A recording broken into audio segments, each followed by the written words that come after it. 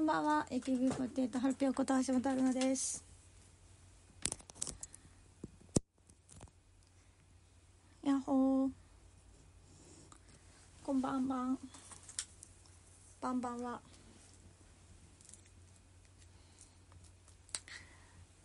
皆さんに秘宝があるんですけれど。おびっくりした。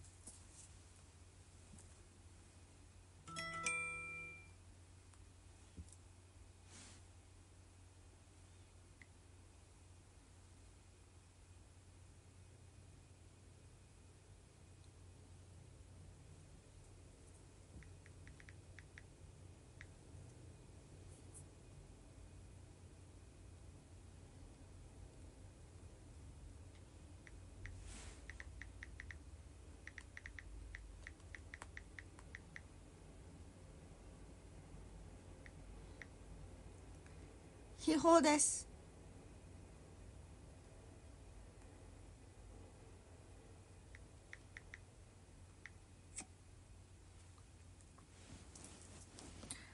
秘宝です。秘宝っていうのは悲しい報告。あの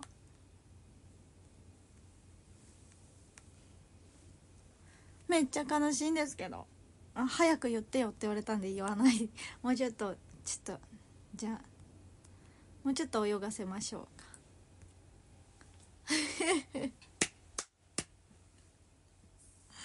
もうちょっと泳いでってください。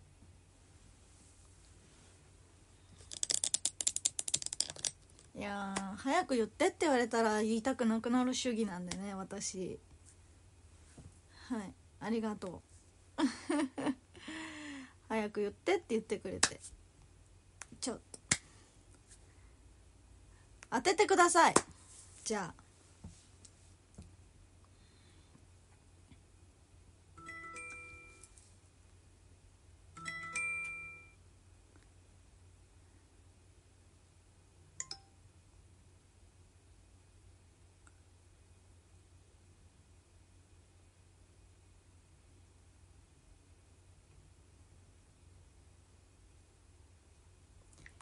がとうございます。経験ポージです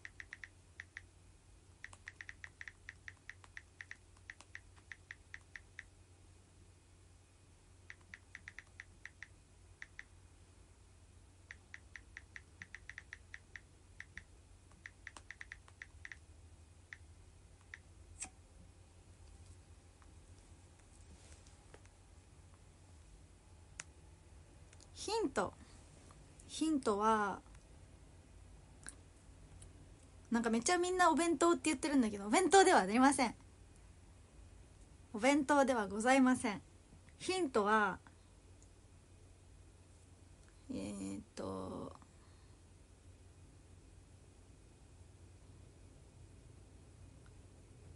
うん。えピョンムービー録画失敗？いやそれはないと思う。大丈夫取れてます。ヒントはうん。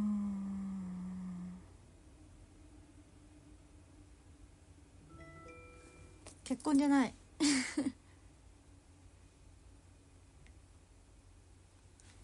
優しいスタッフさんありがとうございます。ありがとうございますスタンプ。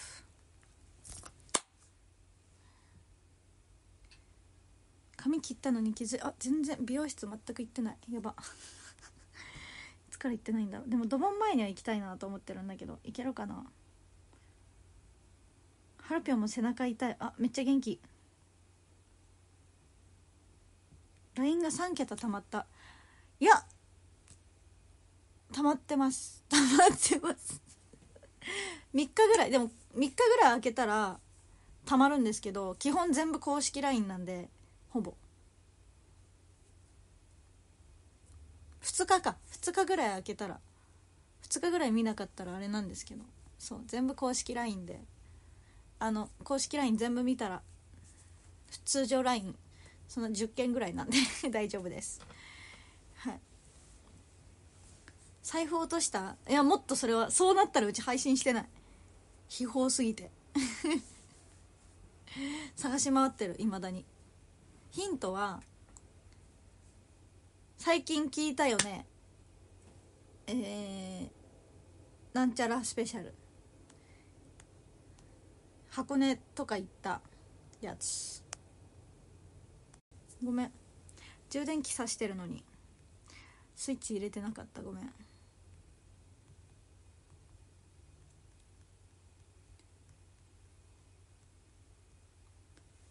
最近聞いたよね。箱根箱根スペシャル。がヒント。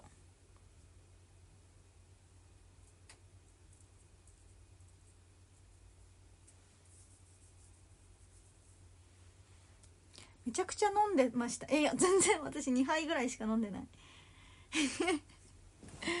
私カシスオレンジの2杯しか飲んでない。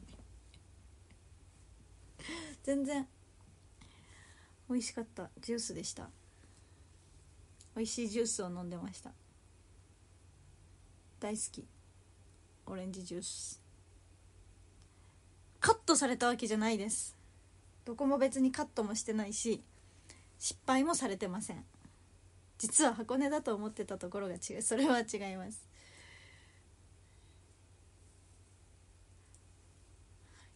違います。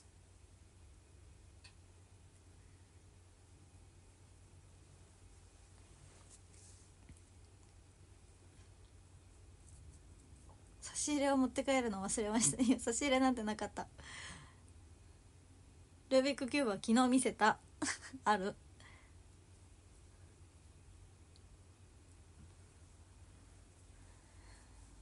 あまあ惜しい。正解は昨日ひーちゃんの卒コンの練習をねまあするじゃないですかそりゃ。してたんですよ。そう。大事ですから。でそしたらまああのめっちゃ髪飾りとかがめっちゃかかってるあのところがあるんですけどそこと服が引っかかっちゃって落ちちゃったのそれが全部。で「はっ!」ってなって。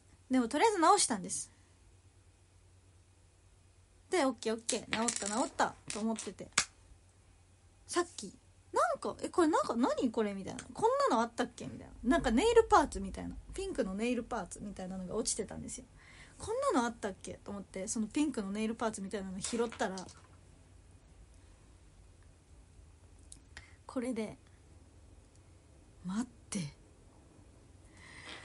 うさぎの耳がない。気づかなかったんですよ。片耳。取れました。悲しい。そうこれは最近聞いたよねのあれの時に箱根スペシャルの時につけてた紙ゴムなんですけど。そう本来これなんですよ。でもそれがこうなりました。悲しい。秘宝すぎるそうねこれファンの方にもらったやつでもう一ペアあるんですけど今ここにはない。んだけどもう一ペアもうちょっと白白強めとい。うかもうちょっと薄い。ピンクのやつだから次からはそれで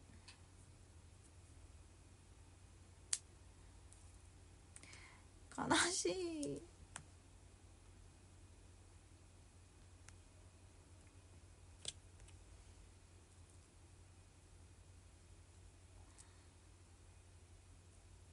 でももう一ペアあるんで次からそれで。それにします。取れた。まあ頑張った勲章です。もうこれもね見てゴムもうちぎれそうだったの。だからまあしょうがないと思って。うんもうちぎれそうだったから。ありがとうって供養します。アロンアルファもね思ったんですけど。でもまあもう一個あるしゴムちぎれそうだったし。供養します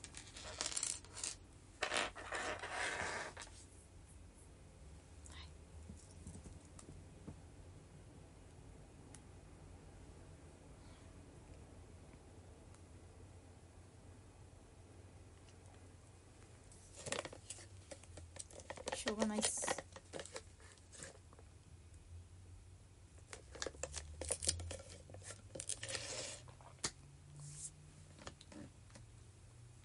今日は今日もオンラインお話し会ありがとうございました。2000嘘。63枚目の嘘。62枚目シングル「アイドルなんかじゃなかったら」の最後の握手会じゃないお話し会というかまあとりあえずイベント？最後のまあファンミはあるんですけど私は出ないので私としては最後のそういうイベント系で。した。ありがとうございました。そうですね。はい。このシングルは私自身がまずあれが減ったりとか部数が減ったりとかしたしそうちょっとね悲しい気持ちになったりとかもしたしでもみんながなんか大丈夫だよっていっぱい来てくれたりとかなんか11月滑走路になったりとかもしたんですけれどもでもみんなが頑張って12月いっぱい来てくれたりとか、ま、1月ももう本当に今日昨日今日で6部あったんですけど4部売り切れてたりとか。そうそうそう。本当にみんながいっぱいお話ししたいと思って来てくださったおかげで次のシングルも部数増えたりとかしたしこうサインもなんか1回で3枚しか書かない時とかもあるんですよ。なんかその売り切れてないとさやっぱななんていうの書くあれもなくって。そう書くのもなくなかったりとかするんだけどもうずっと20枚割と書いてたりとか20枚。まあ10枚か。一部10枚ずつ。書いてたりとか。して。そう。すごい。皆さんのおかげで。結構なんかいろんな気持ちになったお話し会では お話し会握手会のシングルではすごいあったんですけど。でもみんなといろんなお話ができたりとかして楽しかったなって思うしまあうんこのシングルからそれこそ握手会が再開したじゃないですか。だからこそその握手会待ちわびてましたとか4年ぶりですみたいな 人も来たりとかこうなんだろう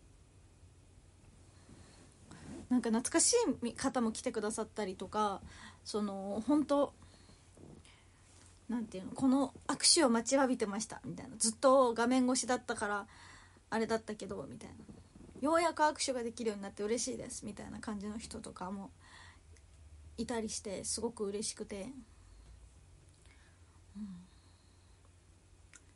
めっちゃありがたいな嬉しいなって思ったりあとまあ基本的に今回のシングルの服装は全部あれですね。ファンのほぼファンの方から頂いた服ばっか着たんですけど。でも本当になんか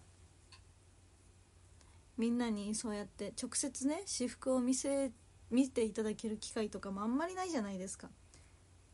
その画面越しではあるかもしれないけど直接見る機会とかってないから。そういう時にね着れたりとかして嬉しかったなーって改めてこう思いますね。うん。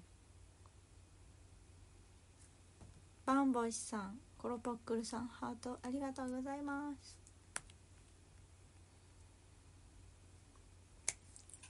そうなのでまあいろいろ本当にいろんな感情になったこの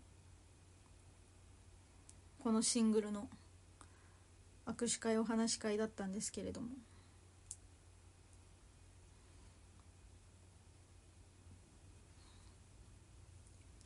それ以上にやっぱり何よりもこう握手会が復活したっていうのが大きかったかなっていうのは思いますね。はい、おっと。風と海とさんこれ何？服。なんだっけこれ熊手？福熊手タワーありがとうございます。せーの。タワータワー。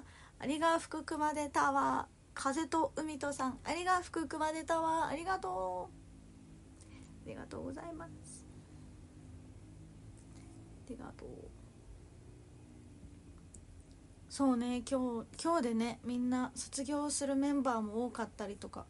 なんか私のことをそれこそそのなんかちらっと見たことあったりとかそのしたけどみたいな。そうとかなんかずっとこのメンバー応援しててみたいな。なんか迷っすごい二押しでした。みたいな。人も今日握手会に何人か来てくださって二押しだったんですけどみたいな。とかなんか DD でみたいな。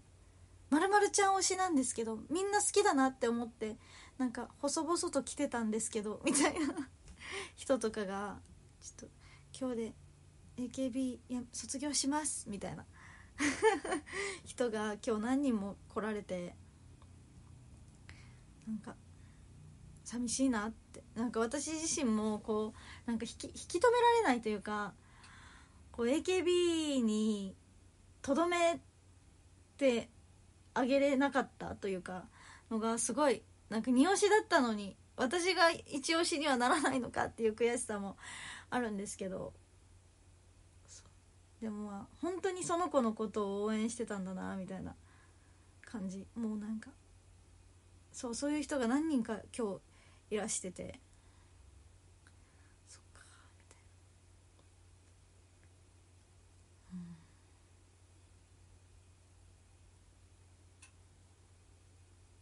うん、まあ分からんでもないなみたいな。私も高見菜さんずっと高見菜さんが好きみたいな感じだった。で割と二押しは DD みたいな。10人ぐらい。そう。いてみたいな。そうそうそう。だからなんか私もその立場だったから高見菜さんが辞める前に自分が AKB に入ったから AKB を好きな気持ちは変わらないけれども。でも多分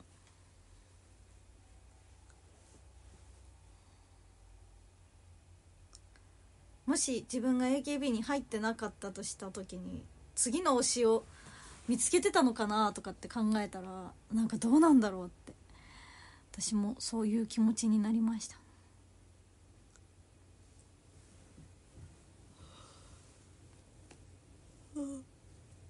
こんばんは。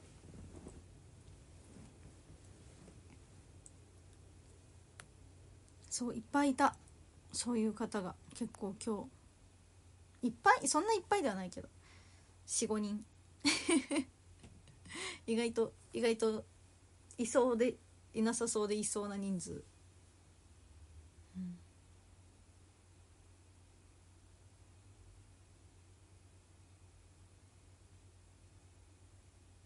推しは自然と生まれるもの。ですって。最後ハルピョンになる。あ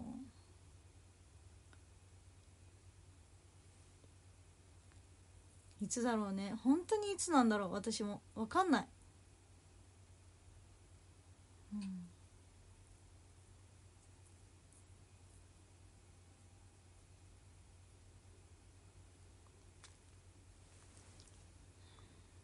分でも分かんないです正直。鉄道のエイトさん軍八さん波動馬道軌道さんハートありがとうございます。うん。どうなんだろうっていうのは本当に分かんない。なんかふとあ卒業かな今この時期かなって考えることはすごい増えたんですけど。でもやっぱそう思った矢先にさ劇場とかステージ立っちゃうとあ今じゃないわみたいな。あごめん今じゃないわまだアイドルやりたいわみたいな気持ちになるんですよ。そう。もちろん考えはしますよ。こんだけこう同期だったりとか仲いいメンバー後輩ちゃんとかいっぱい卒業していく中で。やっぱ私自身ももう10年目。もう4月次の4月で10周年になるしまあ23歳。今年年女24歳だしなんか私自身もこう事務所だったり選抜だったりにチームエイトのメンバーの中で唯一その初期面の中でそう選抜だったり事務所だったりに唯一入ってないメンバーじゃないですか。そう。だからもういる方がまず奇跡なんですけど本当に。そう。本当に。なんでいるんだろうって多分思ってる人も多いと思うんですけど。私のファンじゃなかったら。なんか別にアンチとかじゃないけどファンでもないみたいな。なんか他のメンバーのファンだけどみたいな。っていう人はきっとなんでいるのハルピョンまだみたいな。多分思うと思うんですよ。いや私も思うし自分でも。でもそれでもなんかやっぱステージ立つとなんか立ちたいわまだ。って思うし。そう。ゲッターズ e ダッチはあと3年こっから3年しなんか運勢いいよって言ってるし。そう。だからなんか「いいよ」みたいな。そう。えなんかいやもちろん、まあ、大学もね卒業したしこう大卒新卒として辞めたら辞めただったじゃないですか私。年齢的にも。そう。でもなんかまだやっぱアイドルしてる方が楽しい。なんていうの？まだそう思う。アイドルしてる時が一番楽しいってまだ思う人間。だからうん。一番楽しいのまあ寝てる時間も大好きなんだけどアイドルしてる時間が一番楽しいなって思う人間なのね。そう。だからまだいちゃうよね。そう。うん。難しい。本当に。全然。めっちゃむずい。そう。でも考えなきゃいけないのはもちろん分かってるんですよ。自分の年齢もそうだしこうこれから先の AKB をこうやっぱ今同期が総監督になって引っ張っていきますみたいな言ってる中で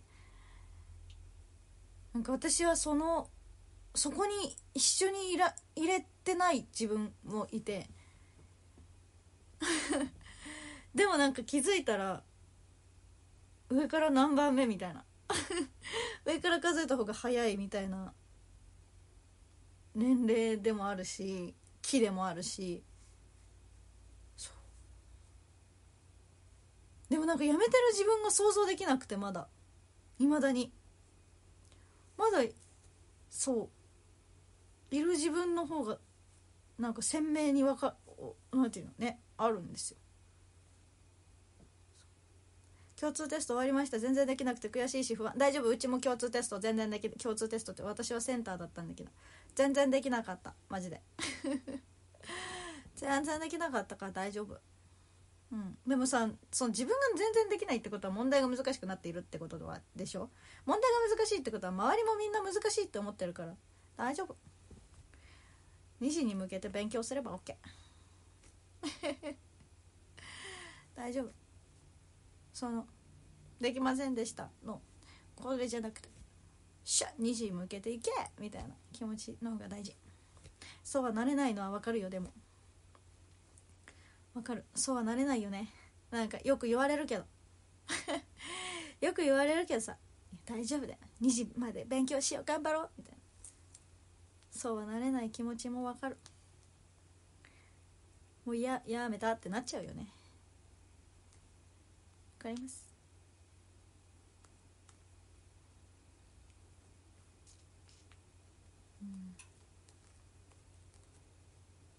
全部終わってからもうやめたってなれば OK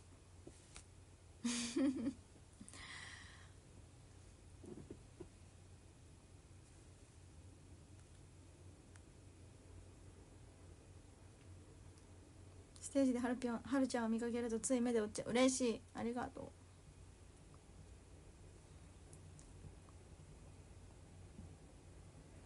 う。なんかでも今日マサルとしゃべってマサイまゆちゃんと喋ってたんですけど17期の「え何歳なんですか?」みたいな。そう大学え大学？あ卒業さあそうなんですね。え？みたいな。何歳なんですか？そう。話になって太田由紀ちゃんと3人でその話になってそういう感じの話になってて「えみたいな。えっとえっとね。みたいな。えっとね。23歳。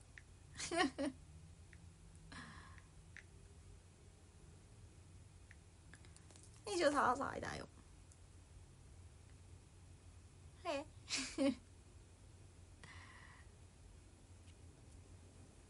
そう。こう見えても23こんなに大人っぽく見えてもまだ23歳なの。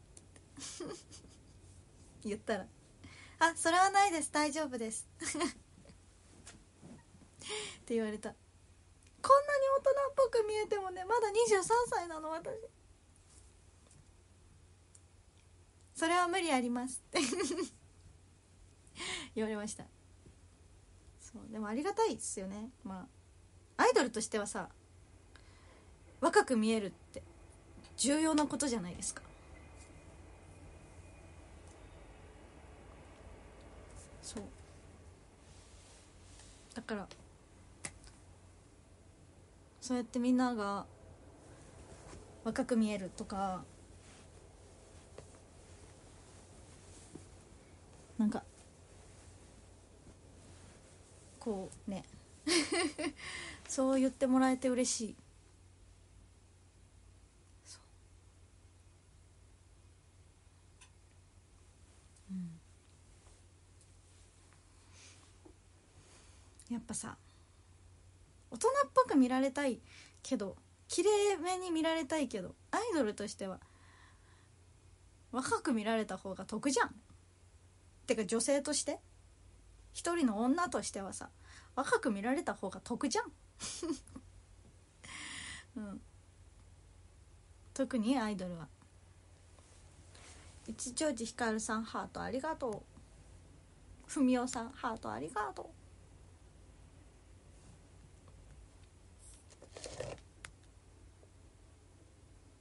3年前に初めて劇場で見た時中1かと思いました。えっと第一。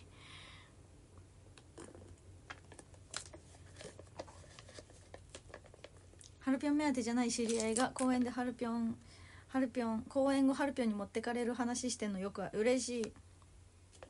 でもそうなんですよね。なんかこれまではさやっぱさこうなんか私そのチームがなくなるってことに対していやなんでだよとかめっちゃ思ってたけどやもちろん そのチームってなくさなきゃダメだったのかなって今でもそりゃ思ってるけどでもこう僕隊に出てからなんか僕の太陽公演でその初めて見ましたっていう人とかも増えたりとかそうしてくださっててこうやっぱこれまでチーム B の公演いっぱい出てたりとかそれこそチーム8の公演チーム8からチーム B に兼任した時もその B で初めて見てみたいな。人がめっちゃいてくださったんですよ。そうだからなんかこうもちろんチームにこだわるのもすごい大事だと思うしそのチームの結束力を高めるのもすごい大事だと思うけどでもそのそうやっていろんなファンの人に見てもらえる機会とかがこうチームがなくなまあ別にチームがなくならなくても、うん、ごちゃごちゃの公演やればいい話だったんですけど。まそれは置いといて。そうなんかやっぱチームってなると同じメンバーがやっぱどうしても人数が足りないってチーム B とかの時もさ人数が足りないからどうしても同じメンバーで回さなきゃいけないってなった時にさどうしてもやっぱ劇場で見たことあるなこの顔の人みたいな人たちが増えていくじゃないですか。そう。でもこうごちゃごちゃの人たちがいるその僕の太陽公演チームがない今のこの AKB の感じになっていろんなメンバーと出てなんかこれまで私たちメンバー自身もこれまで喋ったことない先輩方と喋ったり後輩ともね喋ったことあんまりなかった後輩とも喋ったりとかこう初めて見るファンの人がいたりとかそうなんか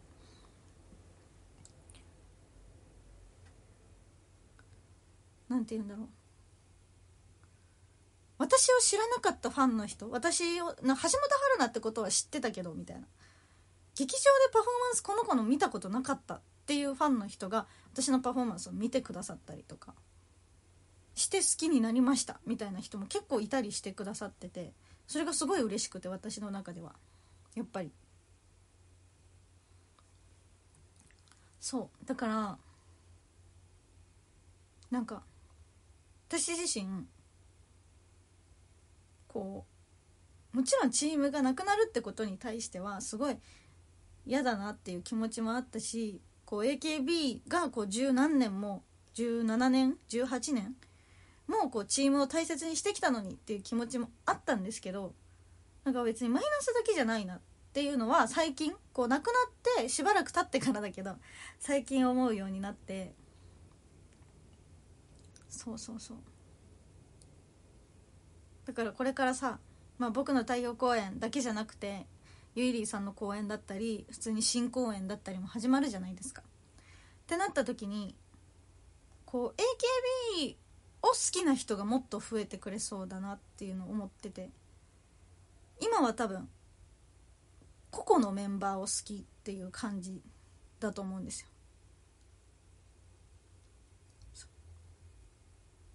でもそっからそうハルピョンを好きっていうのも嬉しいんだけど AKB を好きその中でもみたいな。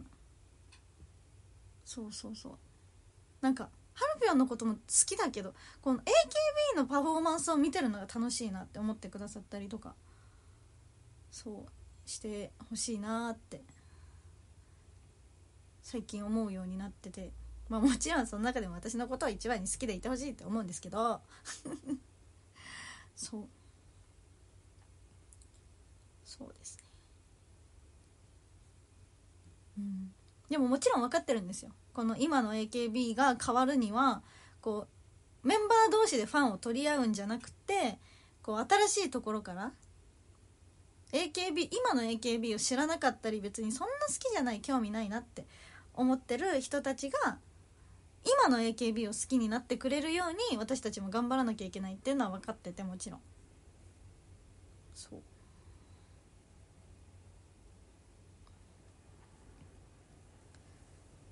こっから AKB がもっとねこう上に登っていくためには、うん、外のえ今の AKB を好きじゃないというか好好きになってない人たちにも AKB 今の AKB を見てもらわなきゃいけないなっていうのを思ってて。そうだそれはすごい難しいんですけど。それは難しい。分かってるんですけどすごいそれって難しいことじゃないですか。どうじゃあ頑張ったら AKB を見てもらえるんだろうって。むずいチャンス うん。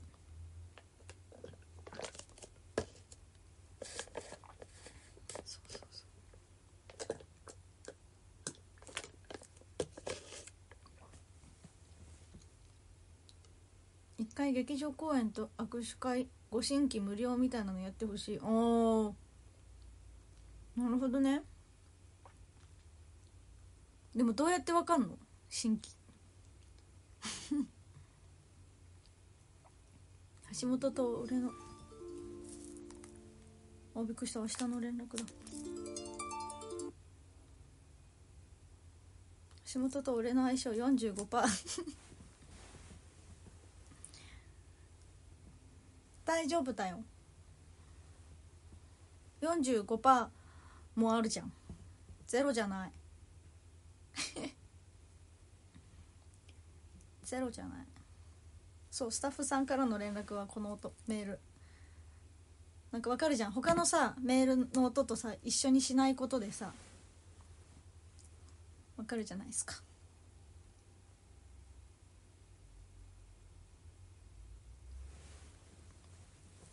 AKB 劇場の入場履歴そんなの分かんの？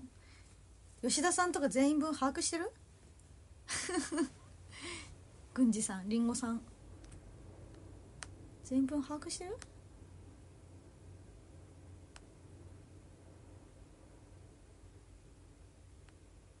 むずいよね。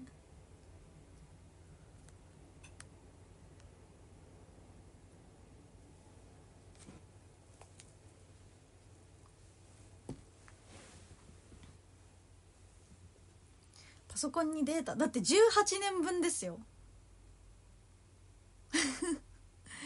18年分もある？あ回数カウントされてあそうなんだ。えでもなんかゆきりんさんの YouTube とか見ててわかるのがなんか握手会の行き方が分かりませんとか。そう。劇場の行き方が分かりません。AKB そなんかその YouTube の質問箱とかよくやってらっしゃるじゃないですか。ゆきりんさん。その時になんか「ゆきりんさんに会う方法ってあります?」みたいな。っていう質問をよく見ててえゆきりんさんのファンの方でもそう思ってるってことは絶対この世の中にそう思ってる？なんかテレビとかで AKB を見るけどみたいな。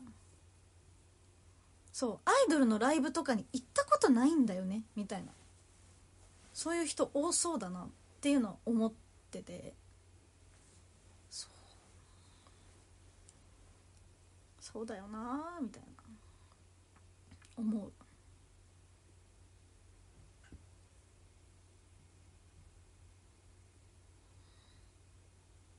なんかチームエイトは昔小中学生限定だったけど当日券みたいなやってたんですよ。そう。めっちゃ昔。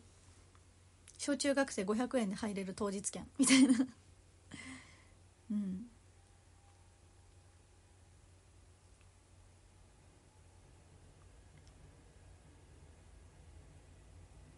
そうそう。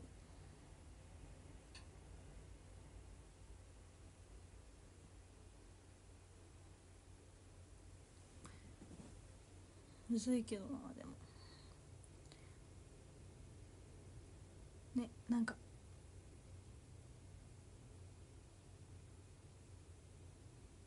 いやわかる。私もなんか握手会ってどうやって買うんだろうって思ってサイト見たけどえなんか文字多くて無理って。思ったもん。うん。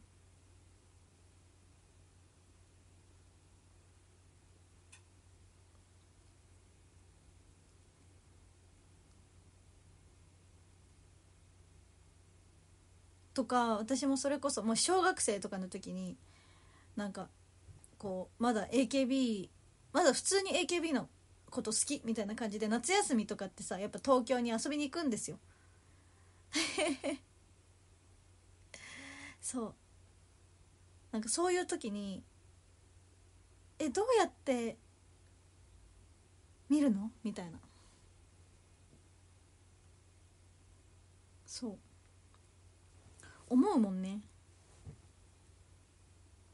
思ったもん。普通に当日劇場来て。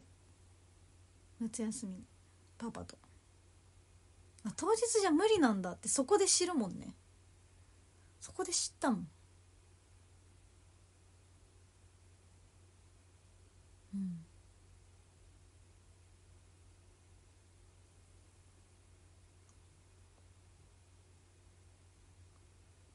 なんか多分 AKB は AKB でなんか書かなきゃいけないことだったりとかこう書いといたから書きましたけどって言えるのはわかるんだけどねなんかむずいよね。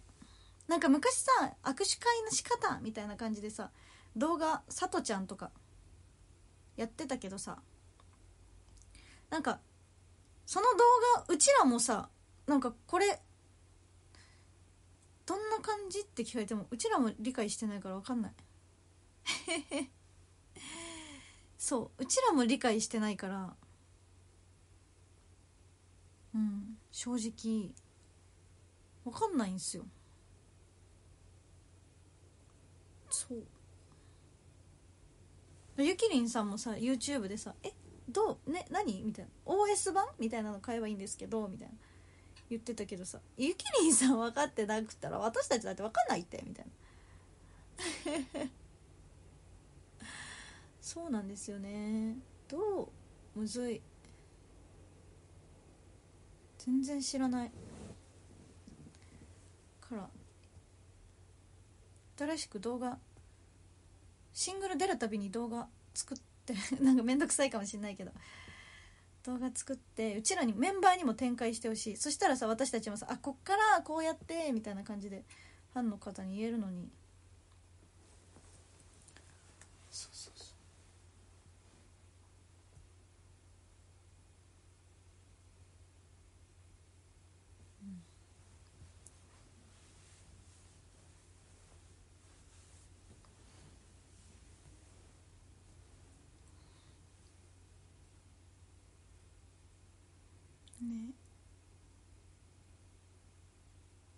ケットのそうチケットの取り方だとかだよねむずいの。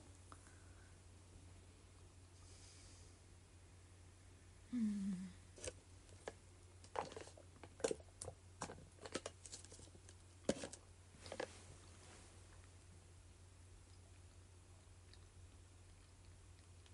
わかるわ。そこに行けば無料でイベンで見れるイベントがほぼない。確かに。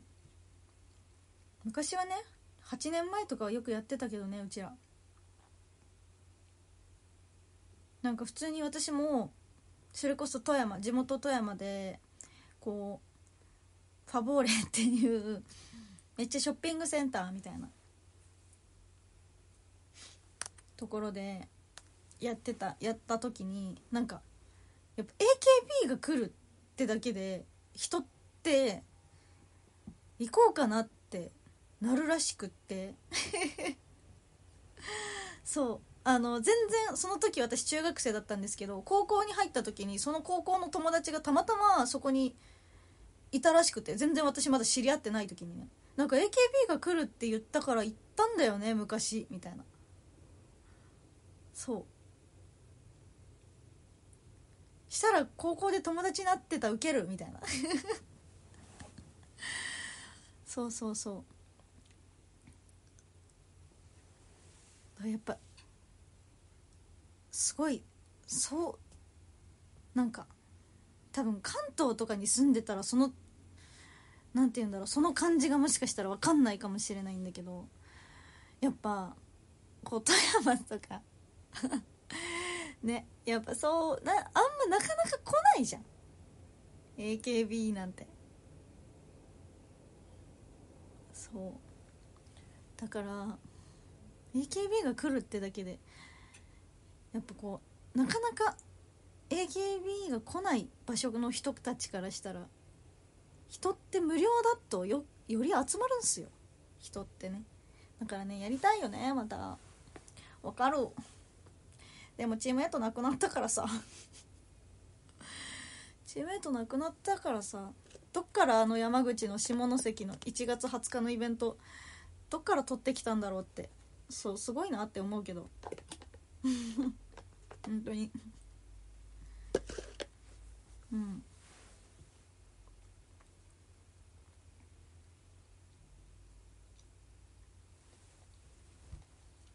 私行かないけど。行きたかった普通に。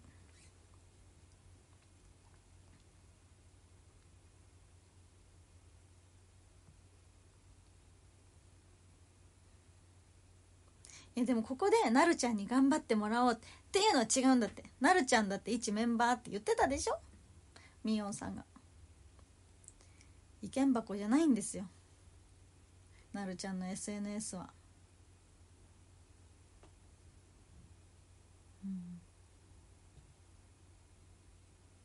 だからそういうさえ AKB ってさ今さあります？ここに申し込んだら必ずできますみたいな。大体その1回はスタッフさん絶対読んでくれる意見箱みたいなある？あるのかな？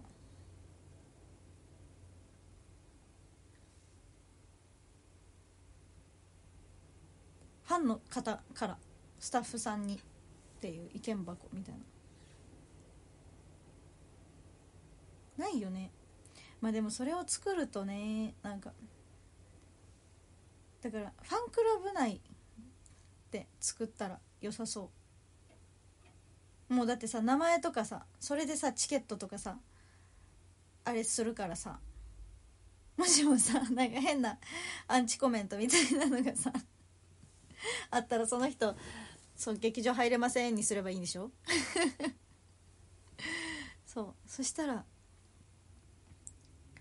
なんかこうこっち側はさこれやりたいあれやりたいとかって出しててもさファンの人的にはさ別にそれを求めてないんだよねみたいなのもあるわけじゃないですか絶対そ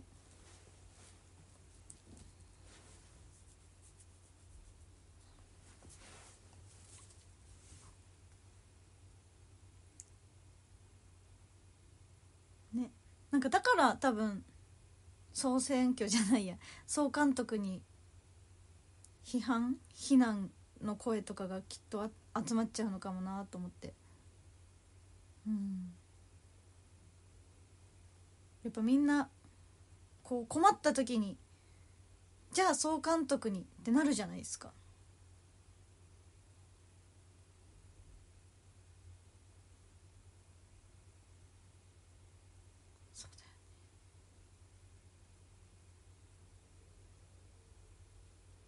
そう AKB モバイルそうそういうところで。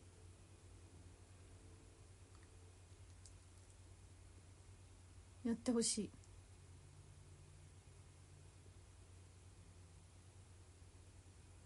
う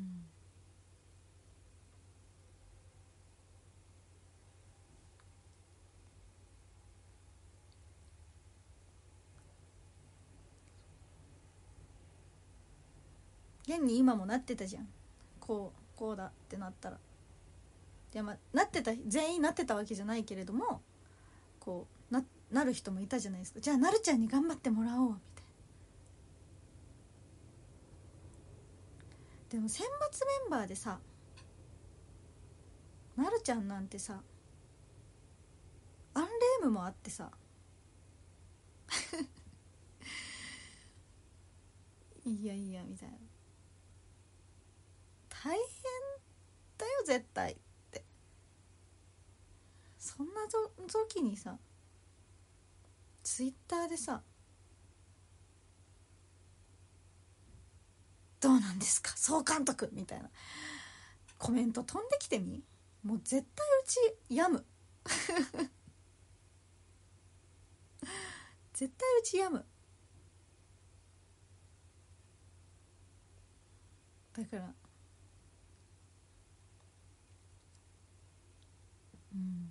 すごいと思うけどやっぱ必要かもね。その支配人的なやつ。いや多分なるちゃんはやっちゃうんですよ。自分ならってできやできます。って多分責任感めっちゃ強い子だからやっちゃうんですよね絶対。やりきっちゃうんだよ。うん。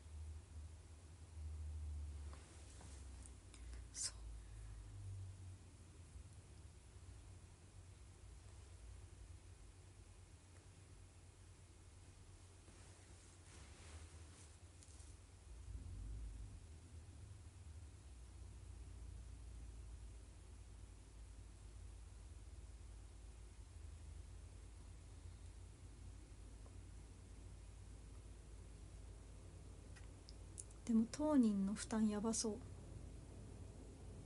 うん。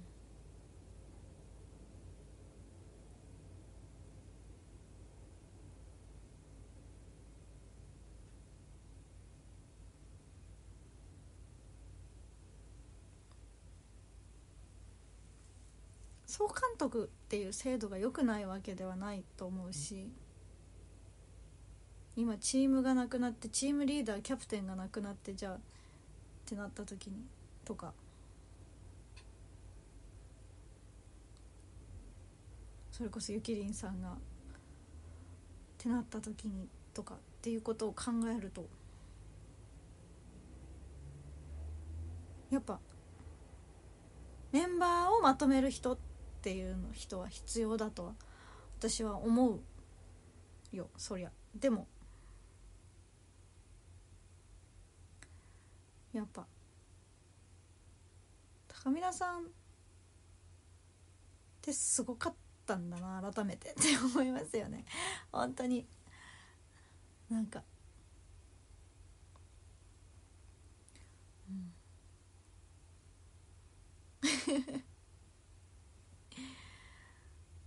本当に。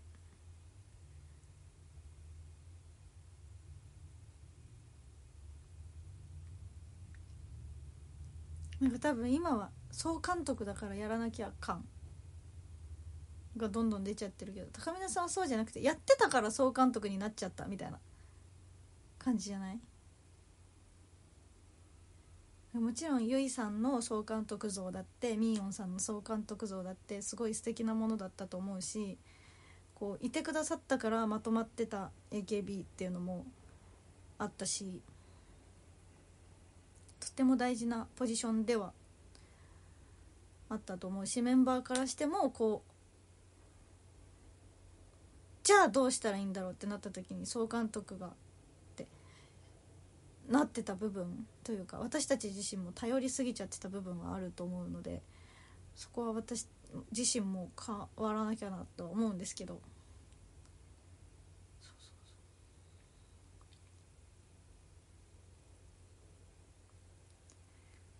でもやっぱ絶対。ねえ。でももうどう言っても。むずそう。だから私にできることは。でもこういうのって誰に言ったらいいんだろうっていうのは分かんないよね。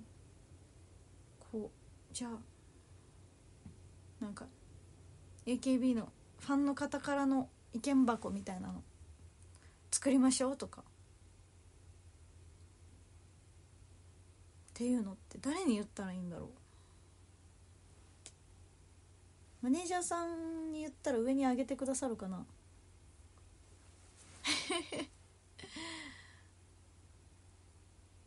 マネージャーさんに言ったら運営さんの耳に入れてくださるかな？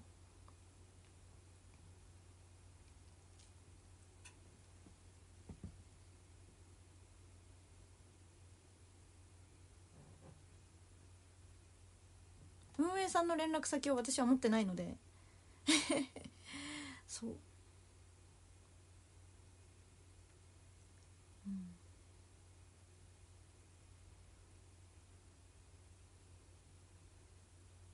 AKB モバイル担当とかって誰なんだろうって分かんない。私たち。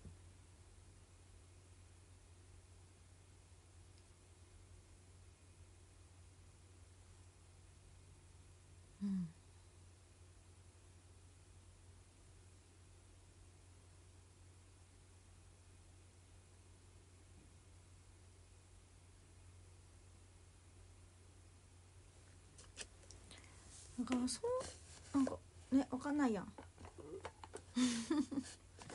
分かんないのが絶対問題ですよね私の。それは私の問題ではあるんだよな。うん。分かってないのは私の問題ではあるよね。本当に。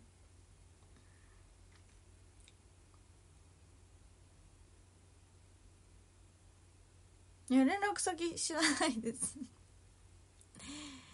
連絡先わかんないし会う機会もあんまりない。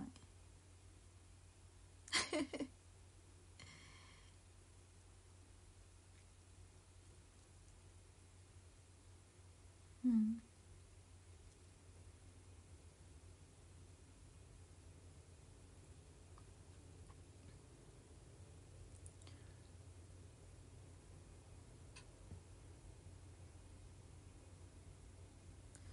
卒業したい時そうですね。誰マネージャーさんに言うのかな？誰に言うんだろう？私卒業したい時。やば。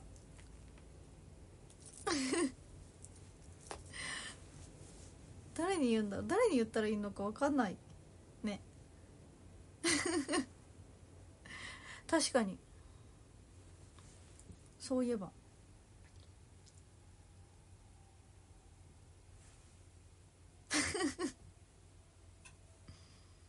まあでもそれはさすがに多分メンバーに聞くと思います。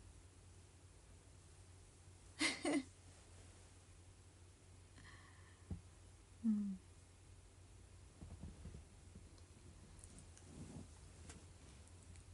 卒業してったメンバー。え誰に言った？みたいな。うん。え誰に誰に言った？聞くと思います。さすがに。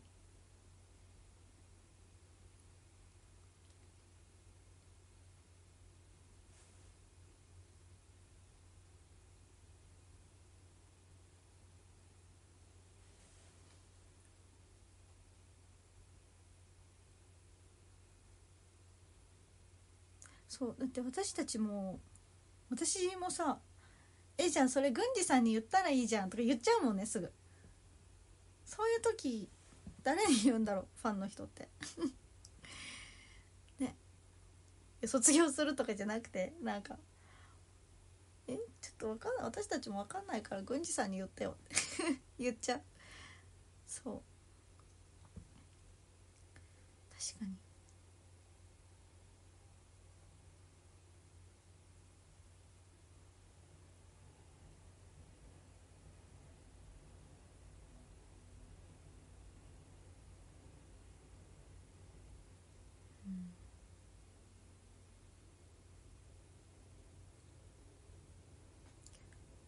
とか前に1個あったのがあのインスタの DM になんかめっちゃあの高校の時の友達の本名からのインスタの DM が届いてそうなんかこうこうこういうこうイベントを企画してるんだけどみたいな。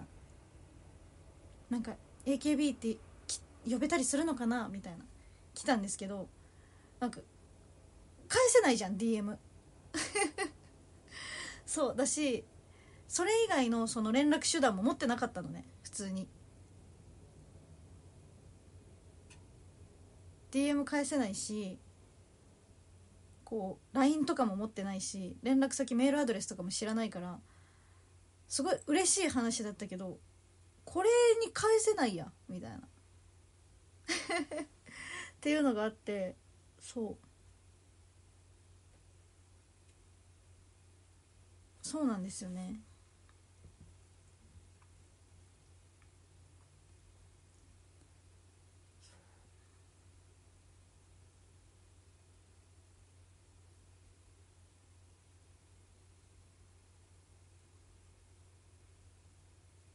出たかったな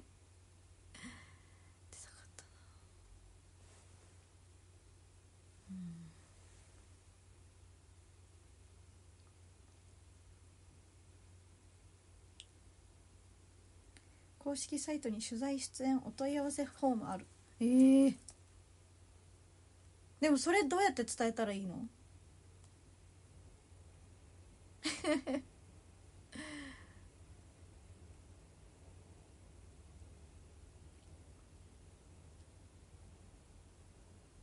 私さもちろんさなんか私自身そのそのたまたま本名が一緒だっただけで。みたいな人もいるじゃん絶対。たまたま橋本春菜って名前だっただけで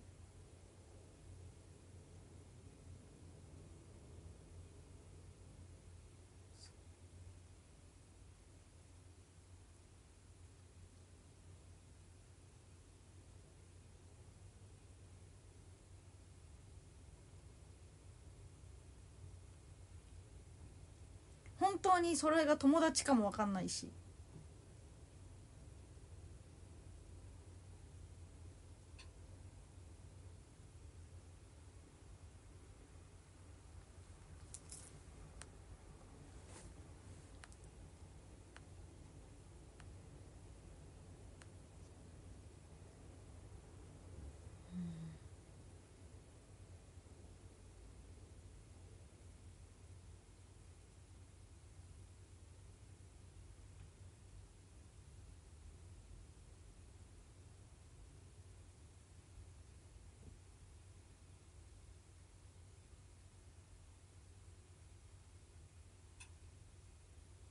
だってそれが友達のインスタかは分かんないじゃないですか。じゃあ例えばめっちゃ今からありきたり ありきたりとか言っちゃダメか。ごめんなさい。AKB 太郎さんっていう人がいるとするじゃないですか。で別に別に別で AKB 太郎さんって人がいるかもしれないじゃないですか。そう別に友達の名前を語ったそのなりすましとかじゃなくって私はこの子の本名だと思ってるけどでも同姓同名の場合だってあるじゃん。でももちろんあの「まる高校の」って来たんですよ「まる高校のまるなんだけど」みたいな。もちろん来たけど。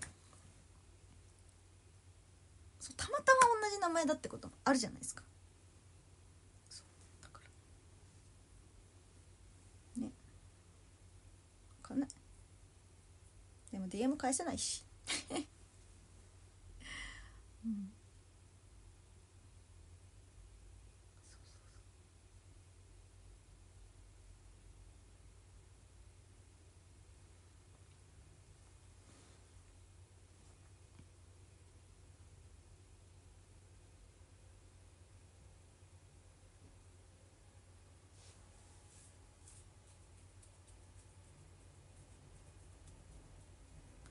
ガチの友あなんかガチむずいな。ガチの友達っていうとすごい友達 っ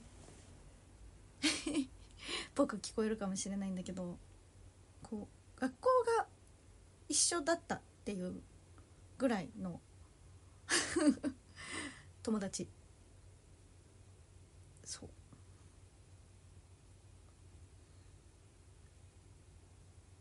でも確かにインスタのストーリーとかに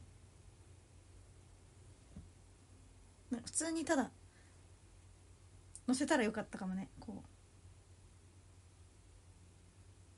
仕事依頼はこちらみたいな。よくあるじゃん。インフルエンサーさんのさこうあれとかによくあるじゃないですか。確かに。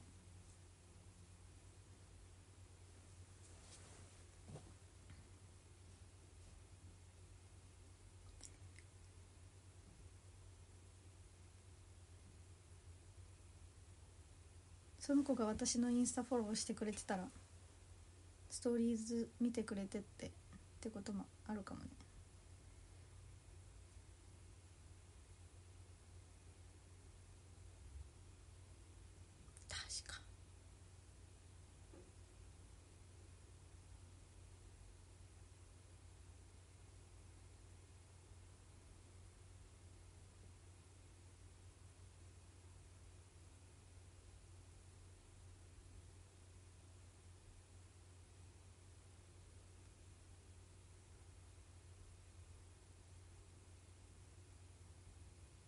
今度やってみよう。別に。来ても来てなくても。やってみよう。仕事以来はこちら。そんな生々しくは書かないけど。あり。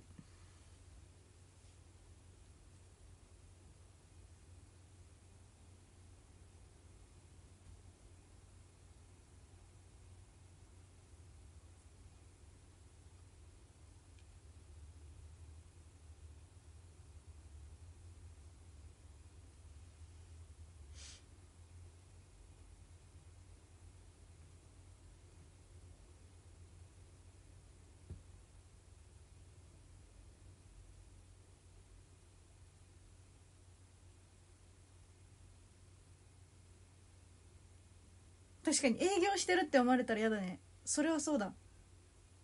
スタッフさんにそれとなく聞いてみようかな。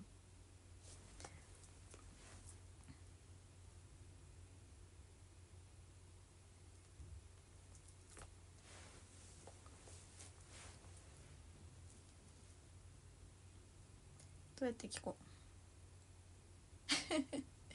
確かにそれで営業って言われたら嫌だよね。でも別にさ営業じゃなくない？こちらって言ってるホームページはさ AKB のホームページを指してるわけでしょ？したら個人営業ではないですよね。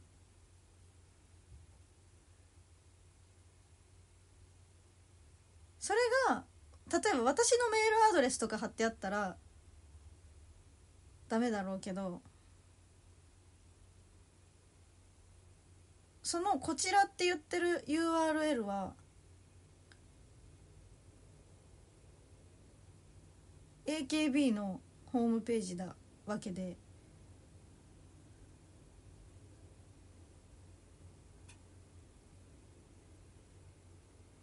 そうですよね。まあ一度聞いた方がいいっすね。一度聞いた方がいいっすよね。マネージャーさん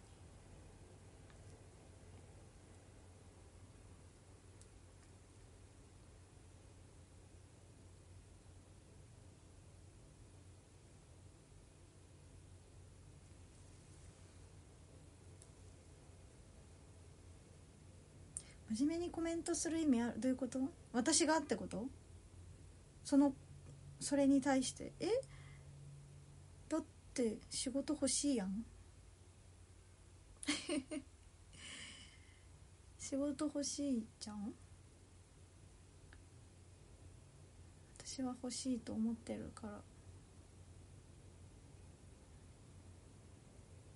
いやもちろん劇場とかも大事だとは思うけどさ。それはそうだよ。劇場だって大事だよ。うん。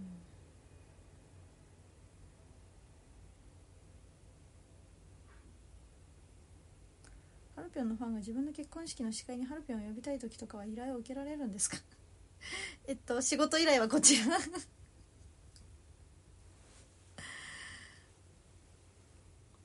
仕事依頼はこちらで。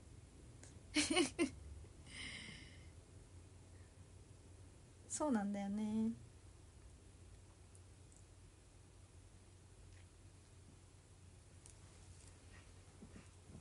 分かんないな。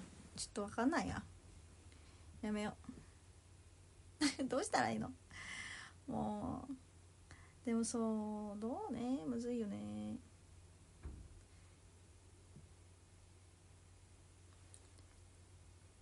むずいむずい。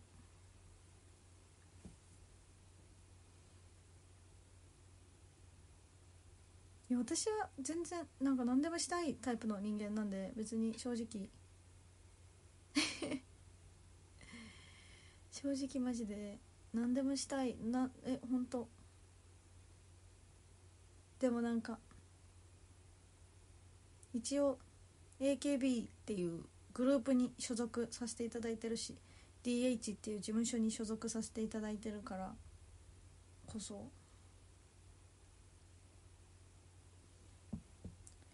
そう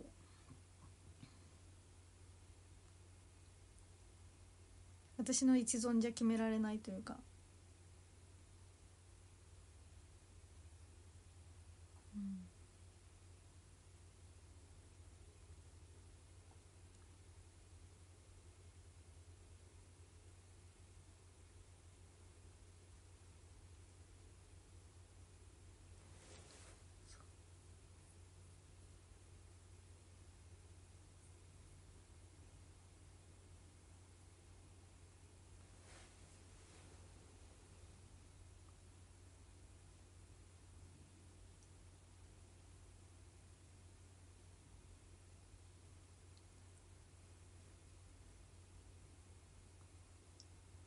か難しくなってきたからいいや。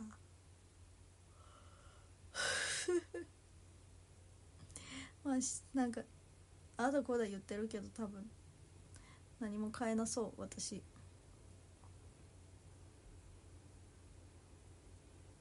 うん。仕事依頼はこちらもスタッフさんに聞かなそうだし。結局。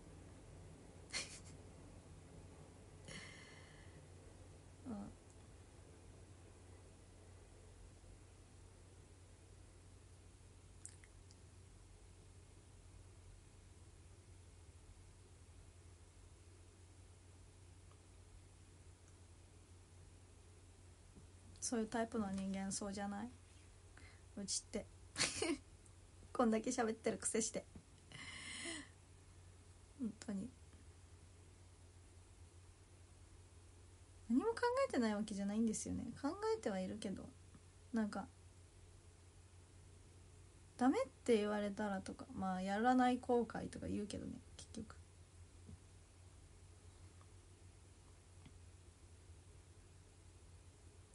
こう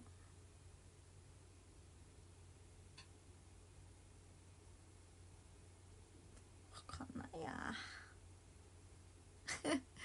わかんないやまあ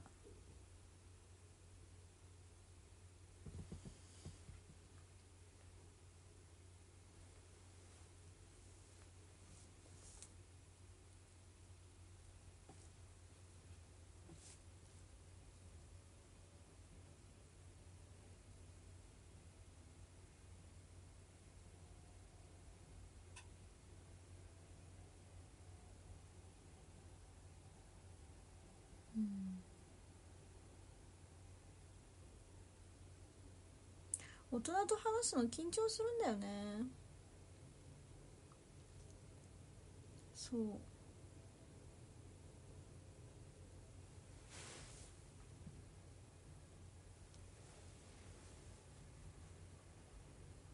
だからじゃあもしまた来たら言うね。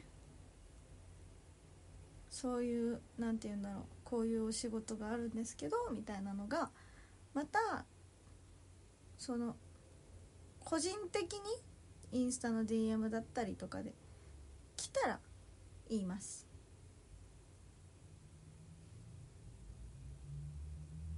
なんかこういうの来ててみたいな。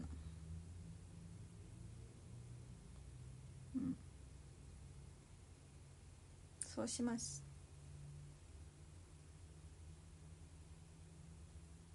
うちの文化祭来てく呼んでください。えなんかさ学校の文化祭とか行ってみたかった。えお仕事依頼はこちら。どちら？ちょっとホームページホームページ通して。えめっちゃ行きたかった。なんかあるじゃんよく。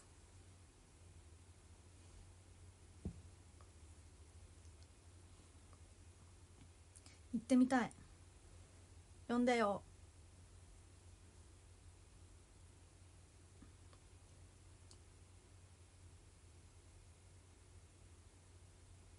そう8の時結構あったよね。でも私一回も行ってないんだよね。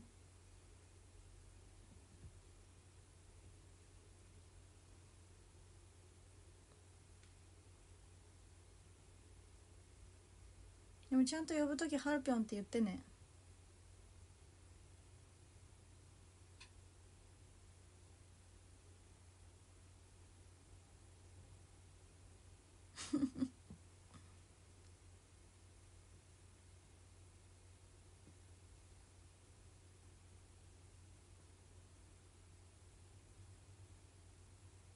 お願い。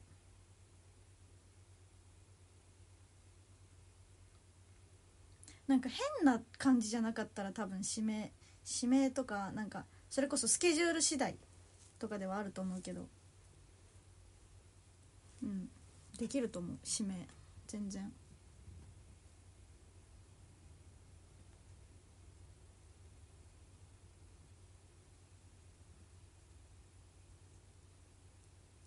スケジュールと確認スタッフさんの確認次第ではあるとは思うんですけど。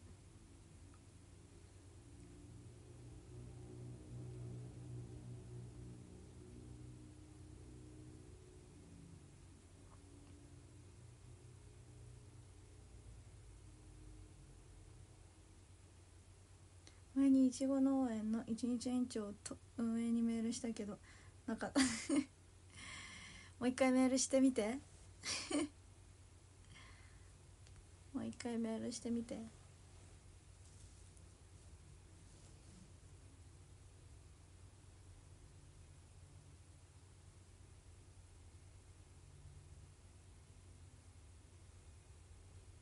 いや何でもやろうと思えばできると思うけどね。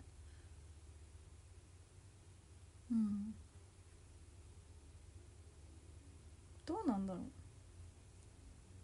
だってさやりんとか郵便局なんかいなんか郵便局長みたいなやってなかったな。そうだから多分。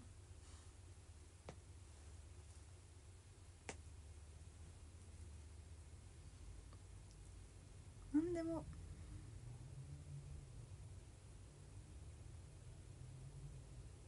やろうと思えばできそう。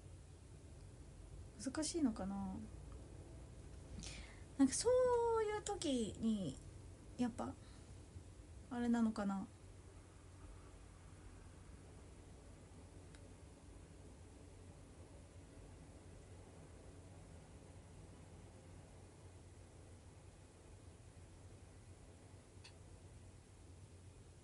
なんだっけ今何言おうとしたか忘れた。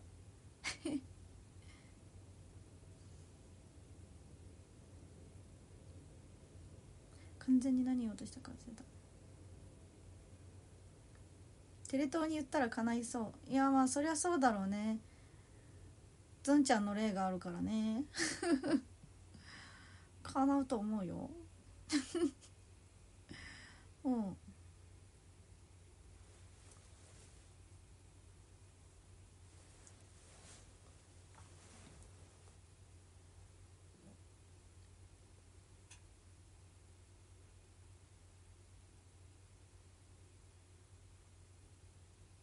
明日の仕事手伝ってごめん明日レッスンだから無理。ごめん明日レッスンだから無理だ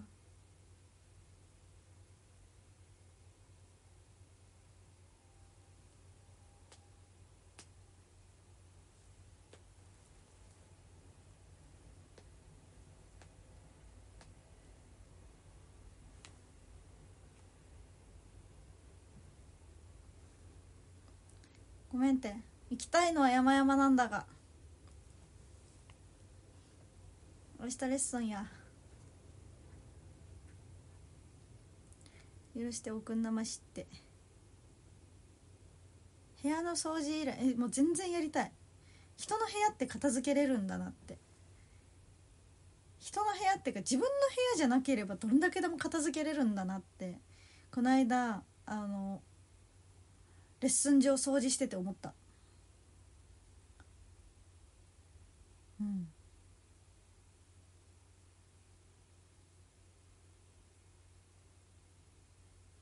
そう。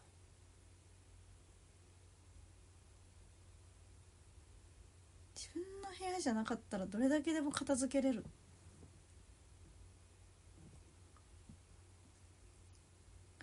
なんで自分の部屋は無理なの？えだってこれは使うからって思っちゃうんだよね。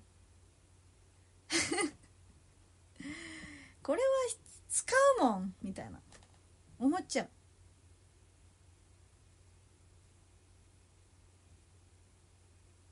そう。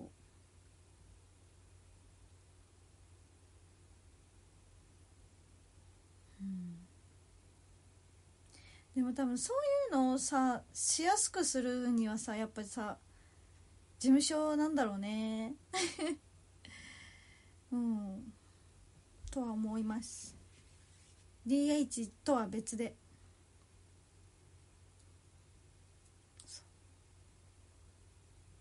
なんかやっぱ事務所に別で所属してるメンバーの方がいろんなお仕事の幅とかが増えてるイメージがあるから。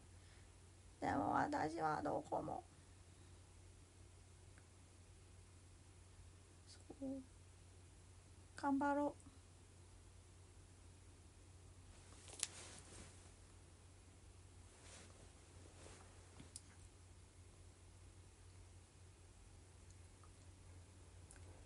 頑張ろう。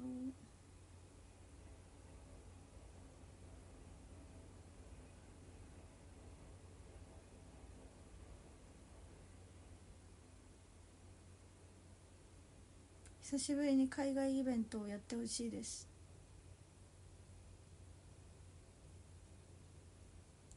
海外でイベントをしたい。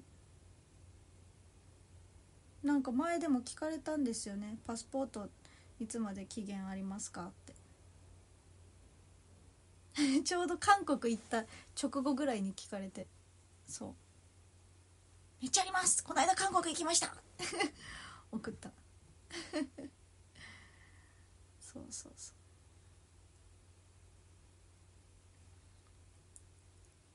う。全員に聞いてると思う。さすがに。てか全員に全員がいるグループ LINE で聞かれてるから大丈夫。そう。別に全く私だけの案件じゃないと思う。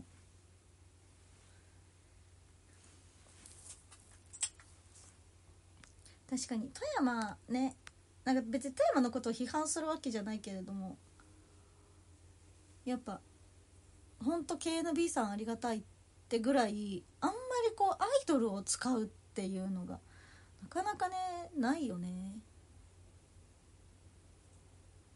うん。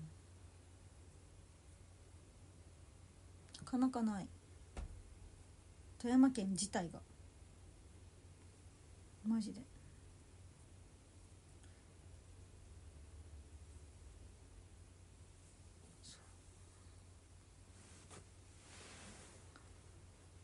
今年の目標新年の目標は？急に。もっと自分の好きだったり自分しかないことをもっとアピールする。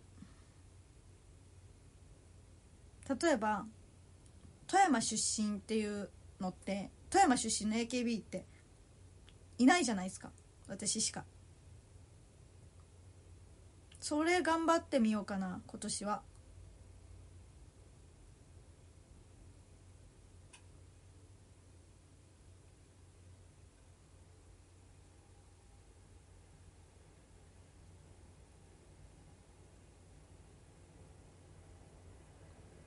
うん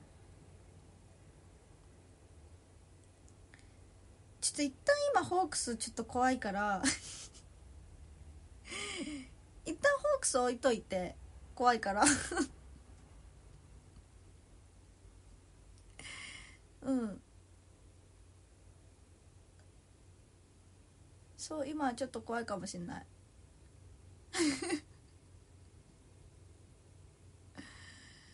うん。なんかちょっと今あんま触れない方が良さそうな感じがするから。うん。ちょっと置いとくね。うん。観光大使えっと日がなアンバサダー？謎に？謎に日がなアンバサダー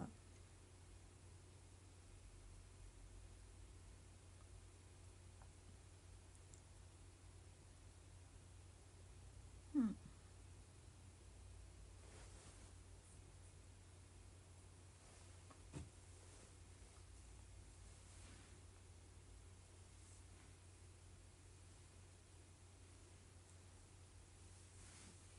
よしじゃあそれでいきます。今年はちょっと行動をしようと思います。橋本さんずっと言ってるか。でもあんましてこなかったしな結局正直。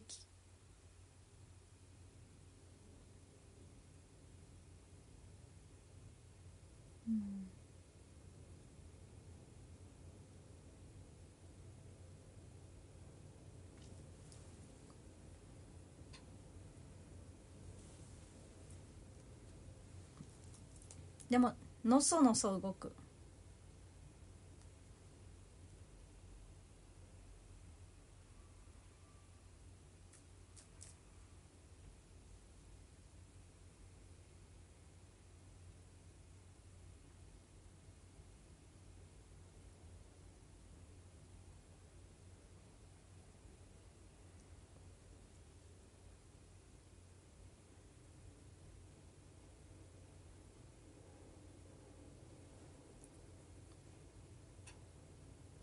うん。なんか私多分急に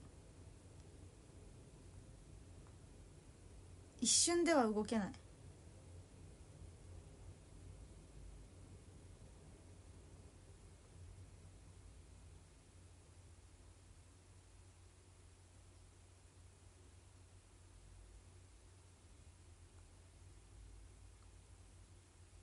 橋本動きますって言って動ける人間じゃないから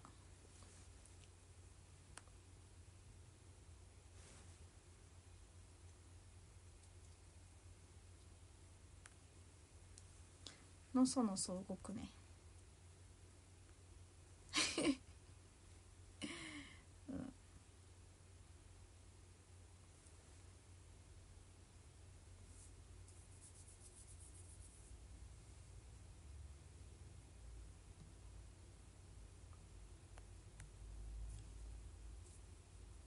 真央さん、ふみおさん、ハートありがとうございます。うん。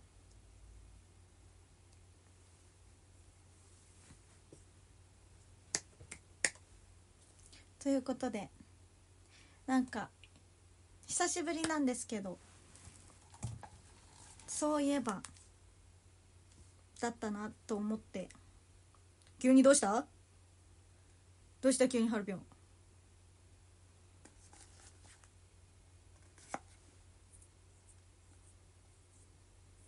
あの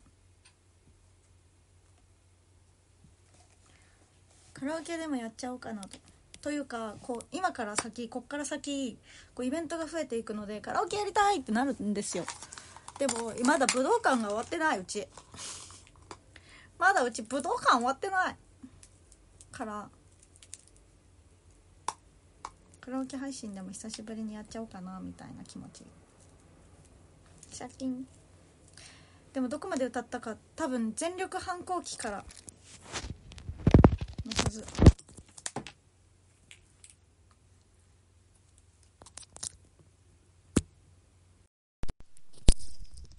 イベントあるよ。フィッシュワンと。フィッシュワンとか。とか。ドボンライブとか。あれとか。ひーちゃんの卒コンとか。いっぱいある。でも全力発行機とかないよね。多分。入ってない気がする。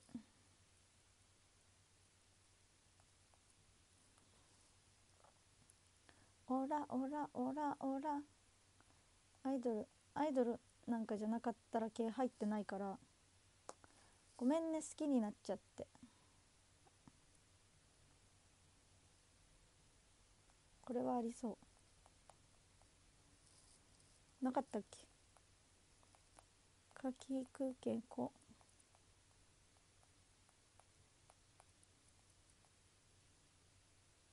おないっけ？あれ？あった気がするんだけど。ないわ。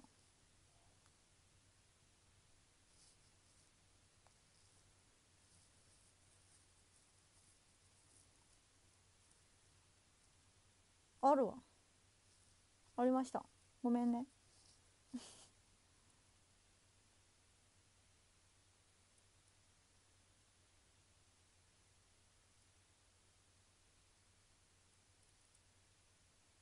ありました。すいません。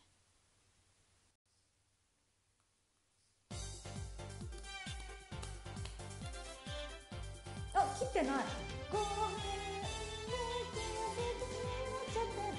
忘れてた。迷惑だったよねベイビーベイビー気を使わないでずいずいずい悪いのは僕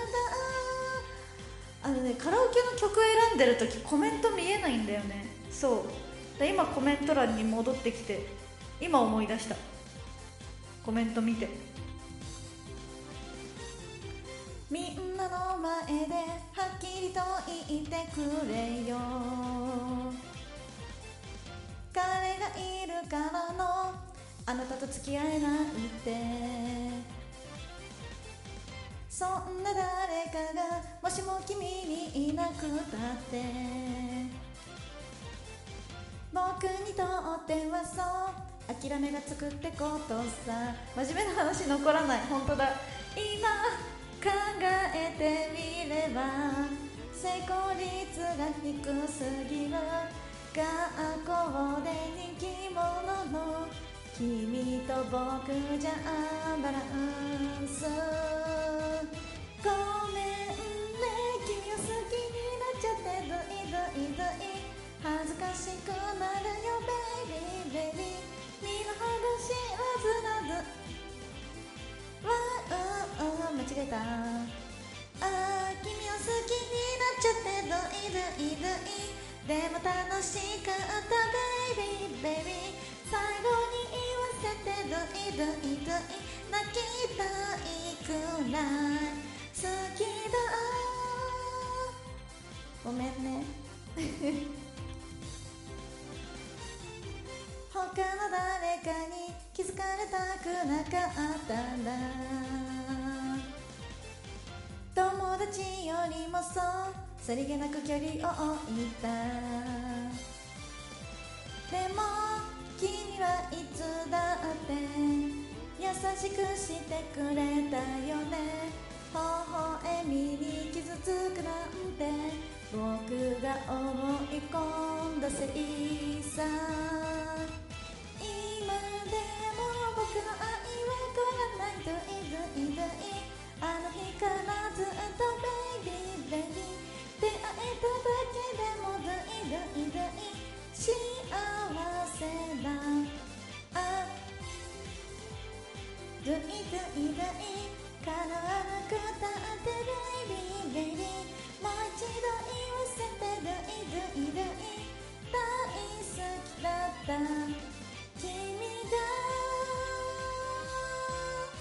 待ってチーズチーズ後で持ってくるこれ終わったらチャチャチャ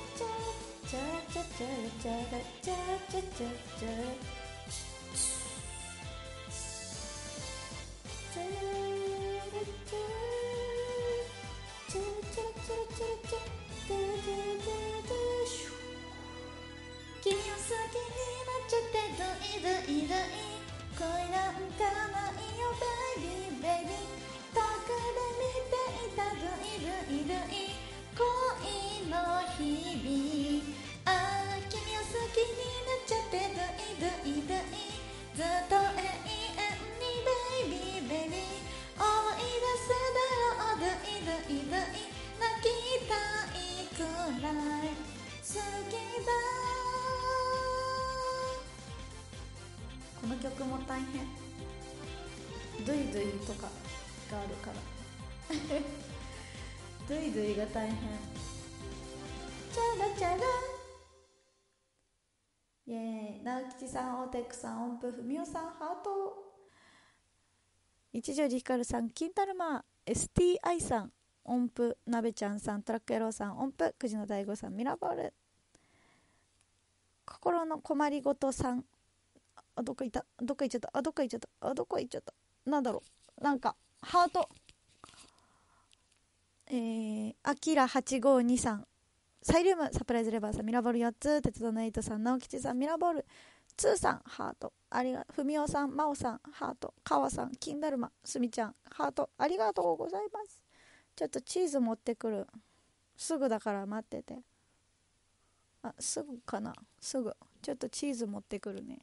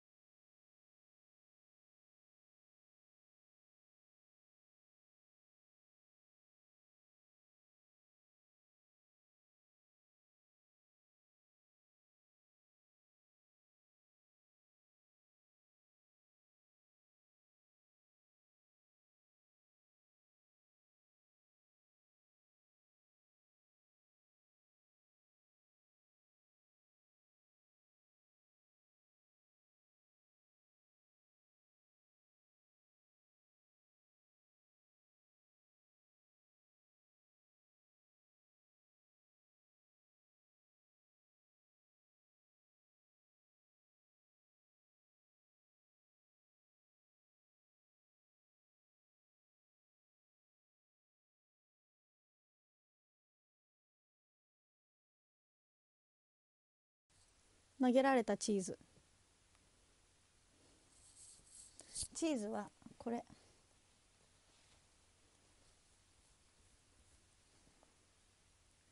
これのこと。マイク。うちのマイク。これがある方がね歌いやすいの。どういうこと？どういうこと？えー、好きな曲は。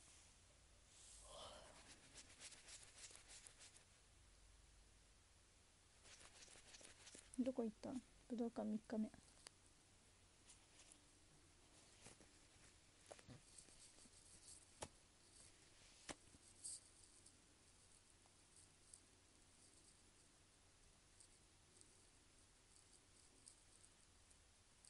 さよならじゃないとかもないんだよね確か。流れ星に。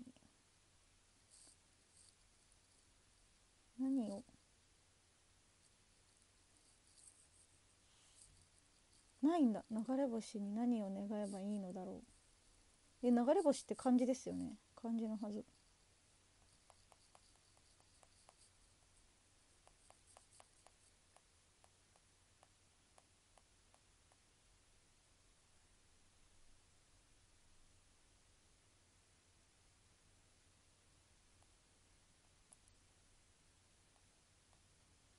流れ星。なななな。手もでも。何ぬね寝たふり願い事ななな。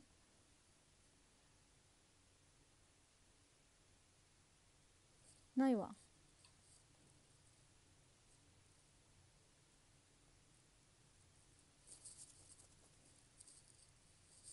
ないんだ。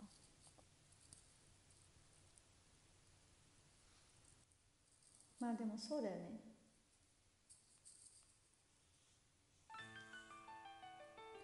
本当は今でもそばにいてほしいよ。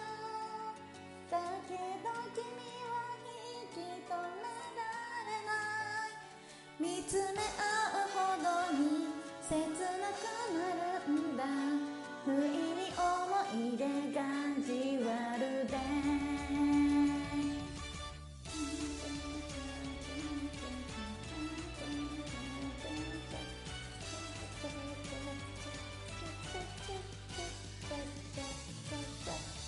だ冷たい。どんなだっけ？で桜のつぼみを見つけた時。僕たちの別れの春がそこまで来たと知った。悲しみを乗り越えつし人は優しさのその意味に気づくんだ君の瞳から涙が溢れたら世界のどこにいたとしても僕が全力で駆けつけてあげる。だから心配しなくたっていいんだよ。自分の夢をやっと見つけたんだ。勇気を出して踏み出すんだ。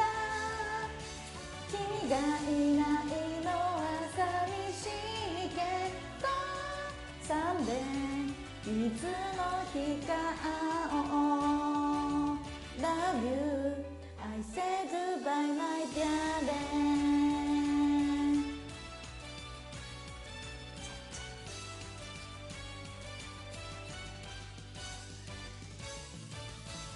駅へと続く坂道を。何度二人で歩いただろう。桜の花が散ったって。人ごとでしかなかった。昨日とは違う道を。行ってみたい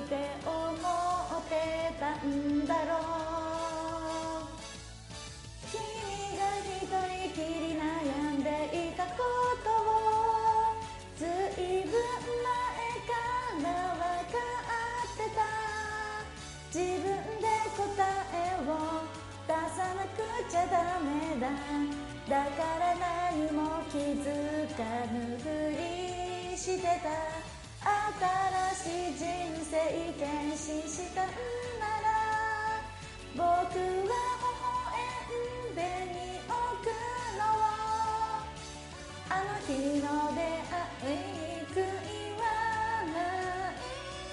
サンキュー。今日まで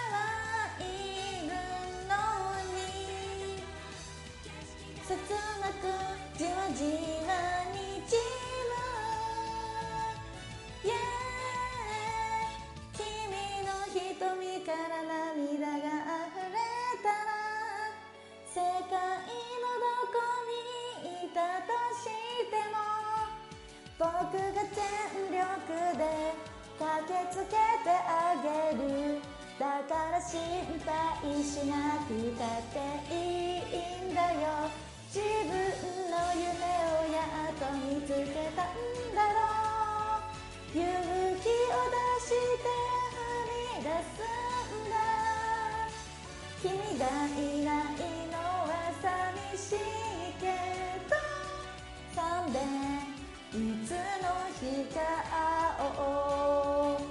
Love you I say goodbye my dearest シャーンいい曲。マジ2番めっちゃいい曲。素敵。なんか2番素敵。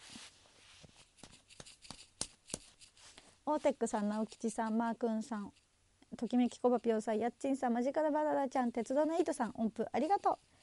哲也さんミラーボール2つありがとう。ディスクさんサイリウムありがとう。ふみおさん直吉さんえートラック野郎さん音符ありがとう。あきらあきん？ああ？あきら852さんえっ、とサイリウムありがとう。島根のちーやんさんハートありがとうございます。ダーユーさん。招き猫。オリビエさんすみちゃん。ハートトラック野郎さんミラーボールと音符。ありがとうございます。サプライズレバーさんミラーボール3つ。ありがとう。チーズが踊り出すよまた。懐かしい。なんか一時期ジワルデイズめっちゃチームエイトで流行ってたよね。なんかめっちゃ山梨ツアーらへんめっちゃ流行ってた思い出。2回目の山梨ツアーらへんめっちゃ流行ってたような思い出です。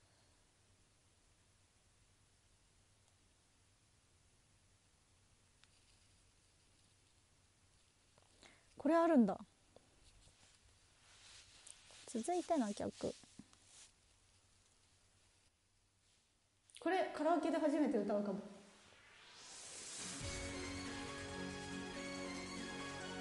夏に会いましょう。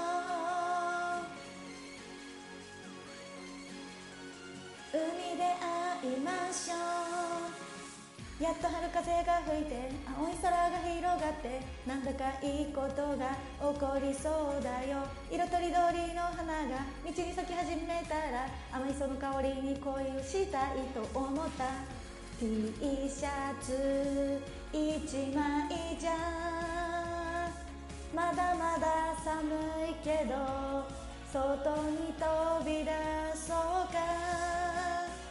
駅へと続く並木道。今日は違う景色だ。すれ違う木漏れ日のはどんな。君を知っているよ。ずっと前から偶然見かけるたび気になってた。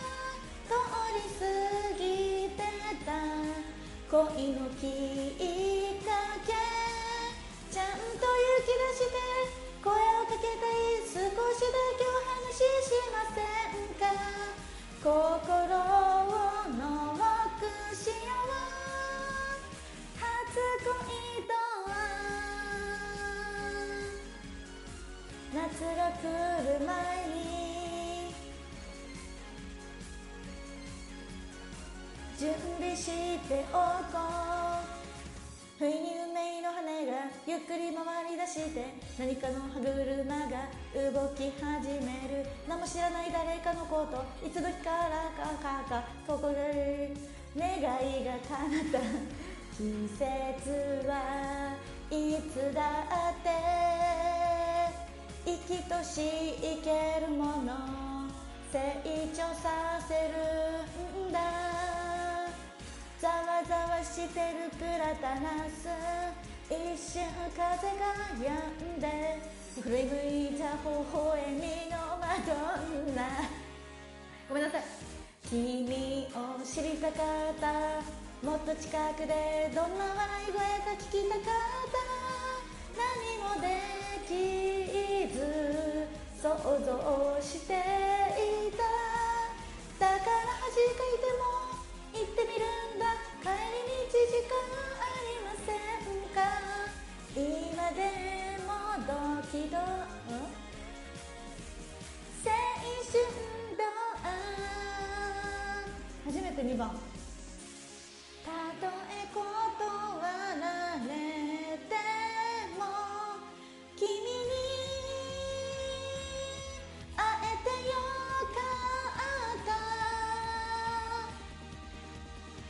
2番初めて聞いたし初めて歌った。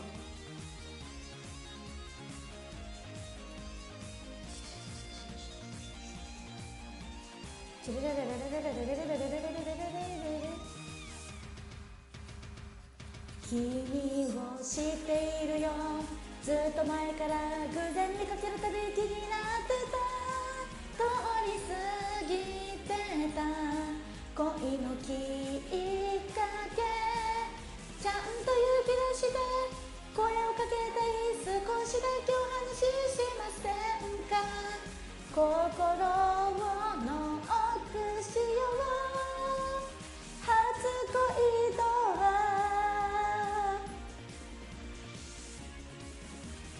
純情の夏に会いましょう。夢で会いましょう。この曲は私山梨ツアーでそれこそ歌ったような気がするんですけど、まあ、山梨ツアーか忘れたけど歌った気がするんですけどあのー歌うたびにコンサートで見るたびに振りが変わる曲です。はい。本当に。そうなの。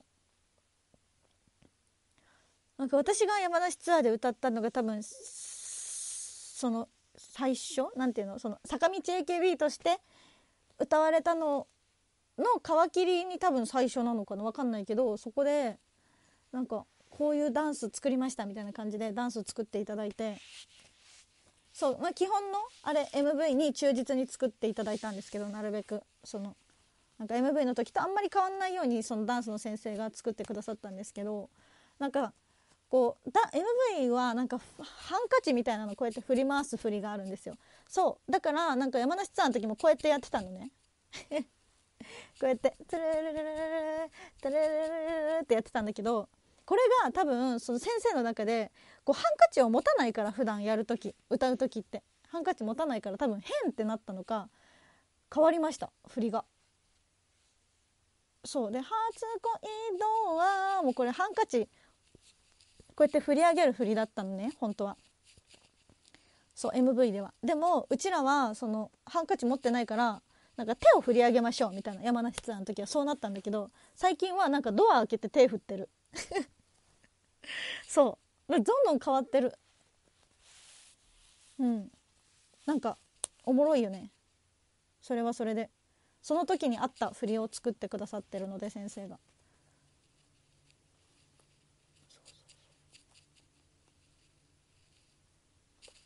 今全然違う。なんか見てみようかな。どこでどっかでやってたよね。初恋ドアさすがに。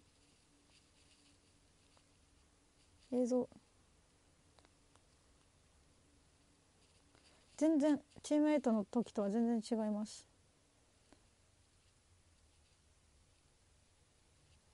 これ MV だ。公式公式が上げてる MV がある。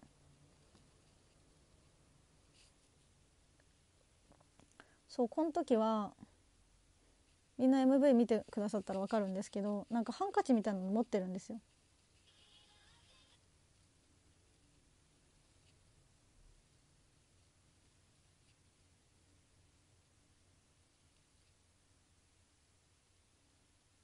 あれ？1サビでは持ってない。大サビで持ってんのか。大サビで持ってるから多分1サビでも同じ振りをしてるんですよ。そう。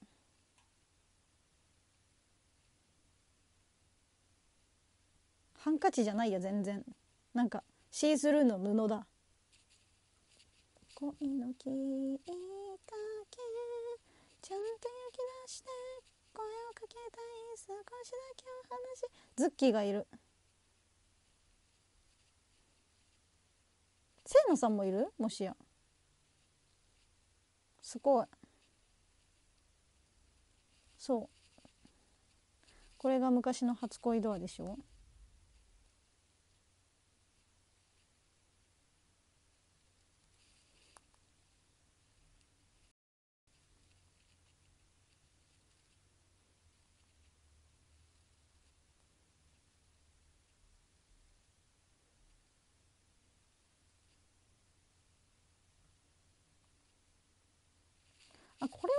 健在なのかな？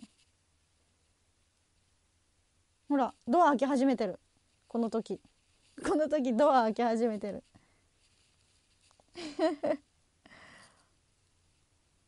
これはいつだろう？リップグロスの時ドア開けてるもん。リップグロスコンサートの時。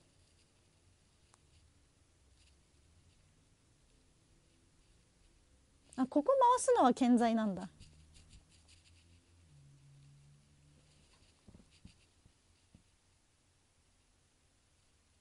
ドア開けてる。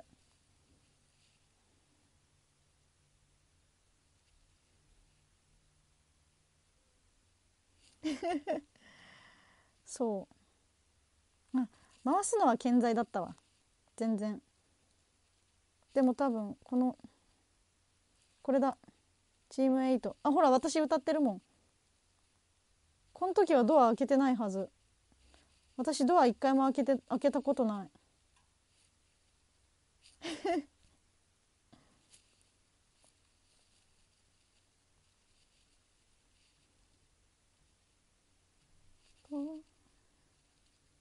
ほらあこうしてるわなんか。8の時は。開けたことないもんうち。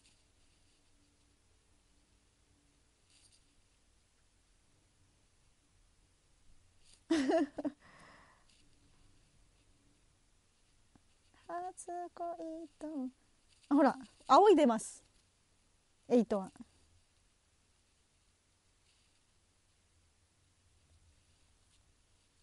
でも突然突然開き始めた。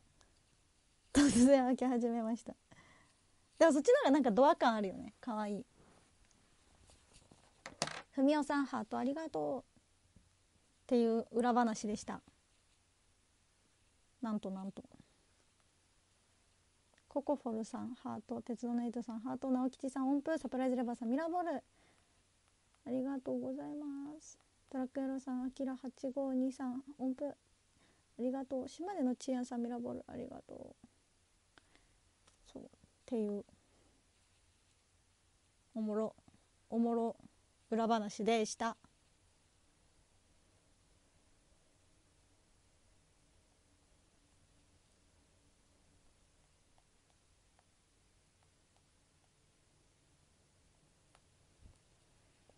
ピンクの銃弾ない？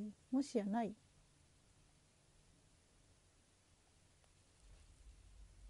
もしやない？リンクの銃弾ないの？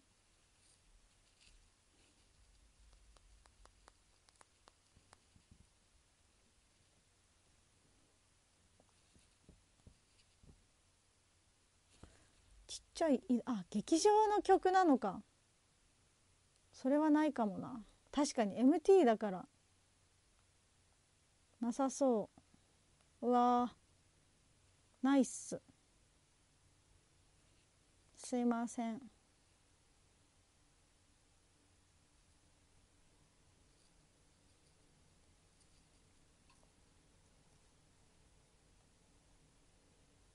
屋上から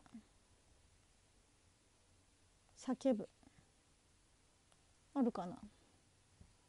屋上から叫べなかった。ないです。屋上から叫ぶも。キスキャンペーン。キスキャンペーンサビも歌えないかもよ。大丈夫そう？こういう曲曲に限ってあるんですよ。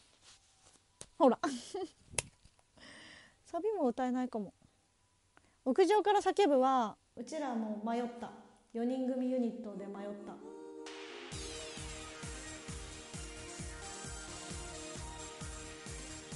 キスキャンペーンはドボンで見たことあってなんか振りむずそうだから提案しなかった。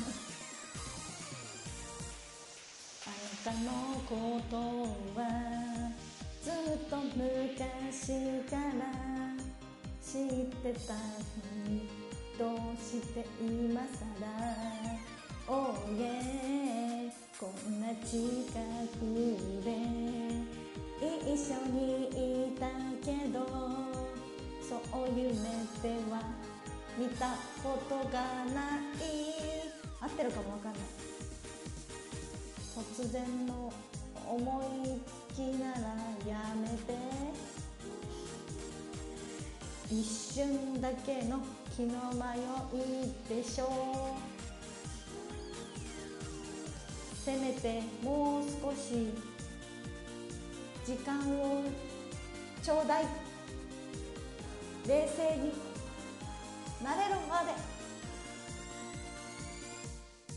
よく見ると素敵ね意外にかっこいいなぜ今まで好きってこと言ってくれなかったの？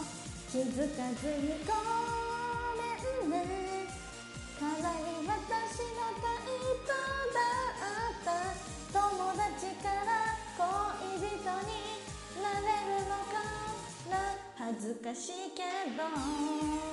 サビ歌えた。試しにキスしよう。今すぐ。あ知り合ってから。ずいぶん経つけど。異性だったと意識しなかった。お互いに恋の悩み聞いて。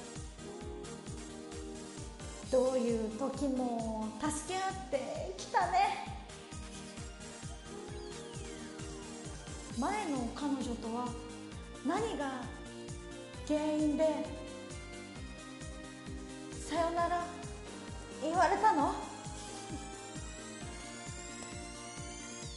想像ができ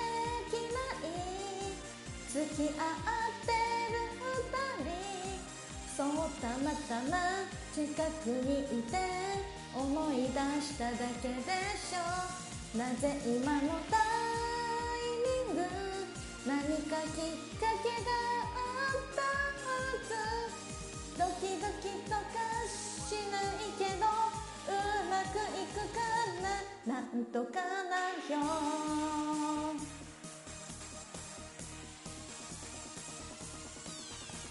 試しに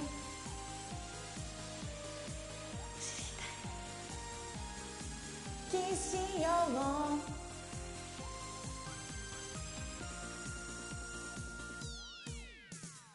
素敵ね。ごめんなさい。意外にかっこいい。なぜ今まで好きってこと？言ってくれなかったの？気づかずにこうわかんないタイミングむずい。かなり私のタイプだった。友達から恋人になれるのかな。恥ずかしいけど。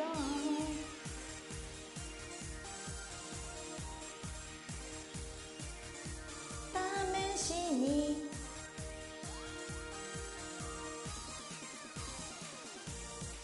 きしよあ僕たちはあの日の日の夜明けを知っているアルバムの曲か。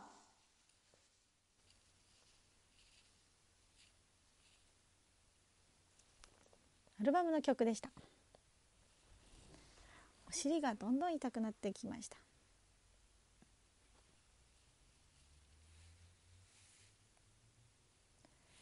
来た。これは歌えるよ。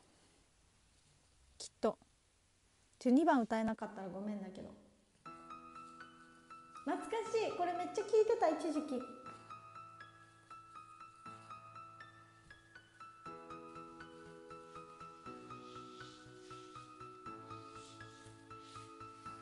祈りはどんな未来も幸せに変える。途方に暮れた時そうつぶやく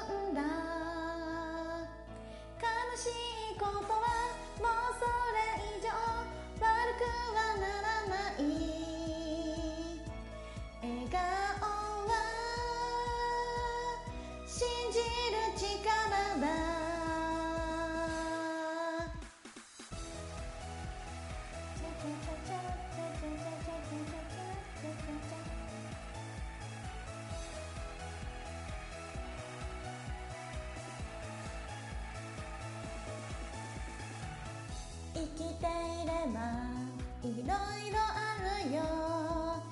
雨だって降るさ雲を見上げ嘆くことより青空思い出そう。僕にできることなたかがし待ってやばい。やがて晴れてくるとイメージするんだ。祈りは願い叶える簡単な魔法すべてを諦めないで僕はポジティブにこうなればいいこうなりたいと心が叫ぶよ思いの強さが通じるこれはもともとはパチンコ AKB の曲だったんですけど、えっと、NGT が「誇りの丘公園」で歌ってました。そう。ちょっと私の歌わりじゃないところあれだった。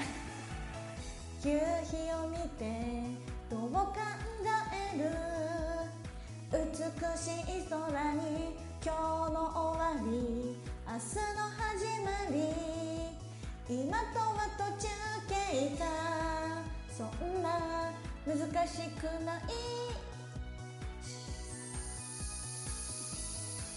時は流れてると肌で感じよう。祈りはどんな未来も幸せに変える。途方に暮れた時にはそうつぶやくんだ。悲しいことはもうそれ以上悪くはならない。笑顔は信じる力だ。もっと良くなる。もっと良くなる。もっと良くなる胸の中で呪文唱えてごらん。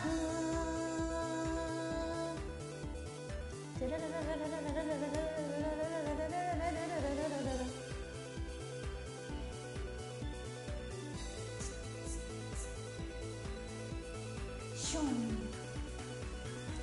祈りはどんな未来も幸せに変えるそんなにネガティブがいや楽しくないだろう。祈りは願い叶える簡単な魔法すべてを諦めないで僕はポジティブにこうなればいい。こうなりたいと心が叫ぶよ。思いの強さが通じる。次は良くなる。次は良くなる。次は良くなる。祈ってればきっといいことあるさ。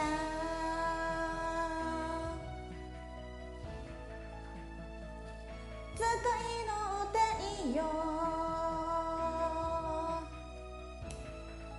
誇りの丘公園って AKB でや。ってないよね。やったやってないよねやったっけ「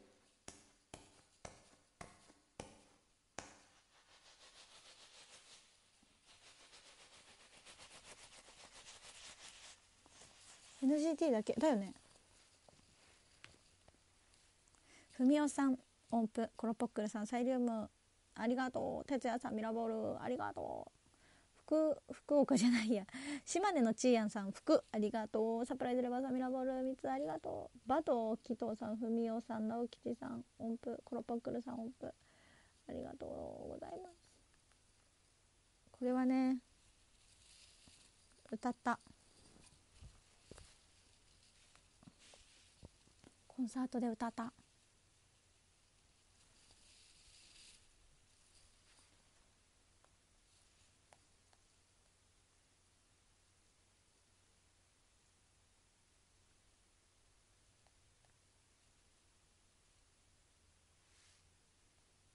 おこれも歌えるかな？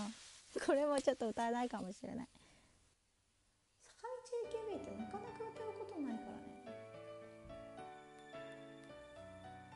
4人ユニット勝ち取りました。すごいでしょ私絶対16人だと思ったでしょみんな。こういう時ってハルピョンマジ運ないから16人か13人楽曲だと思ったでしょ。4人だった。すごすぎ。すごすぎ。どうせ16人か13人だろう思ったでしょ。自分が一番びっくりしたのかなぼぼ僕の声は聞こえるか？風の音で消されたのか？ずっと叫び続ければ届くと信じていたい。お互いにが間違えた。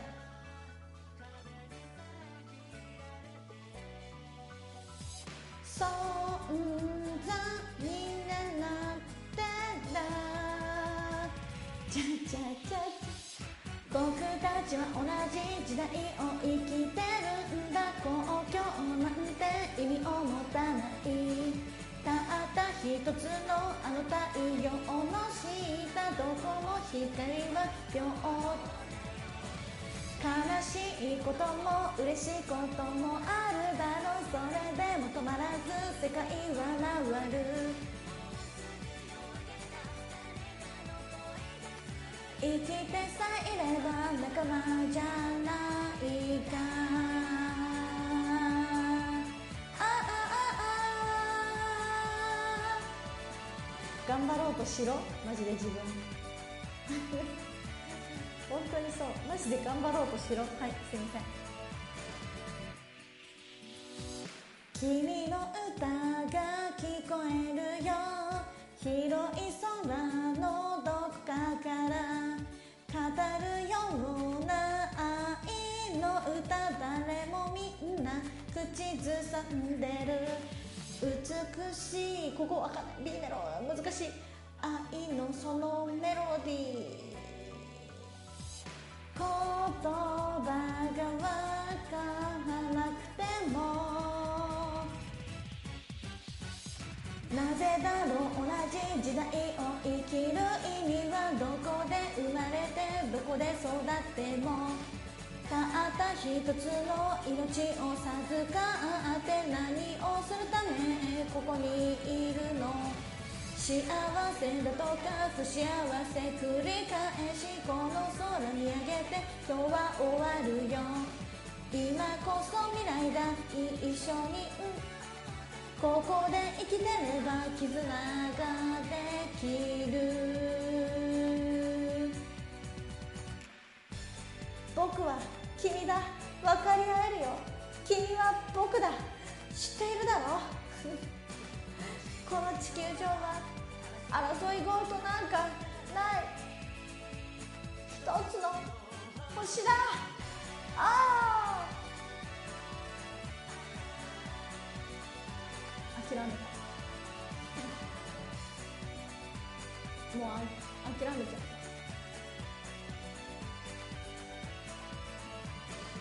同じもの同じものすべていつでも見てるんだ希望を持つが絶望をするか世の中が変わりいつしか人が人を愛せない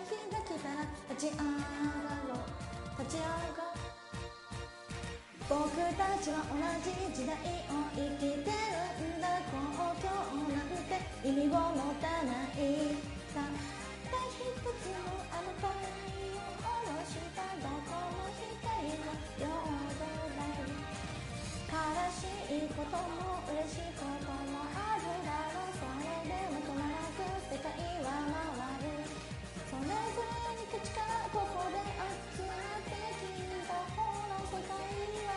は一人じゃない。もうやっぱりわからない。ちゃんと聞くべきだった。ごめんなさい。結構ごめんなさい。結構ごめんなさい。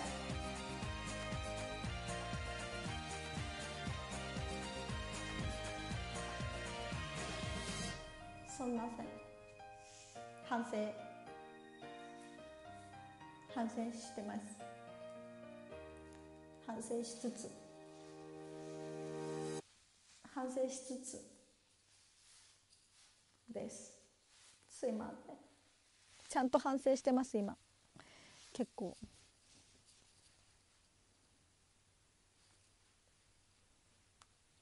すいません。あきら8523ミラーボール。音符。金色だるま。ありがとう。すちゃんさん。招き猫ありがとう。ふみおさんトラック野郎さん。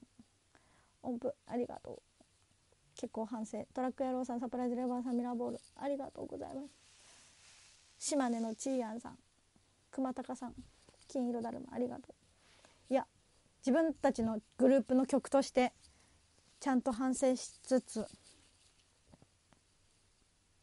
ですね本当に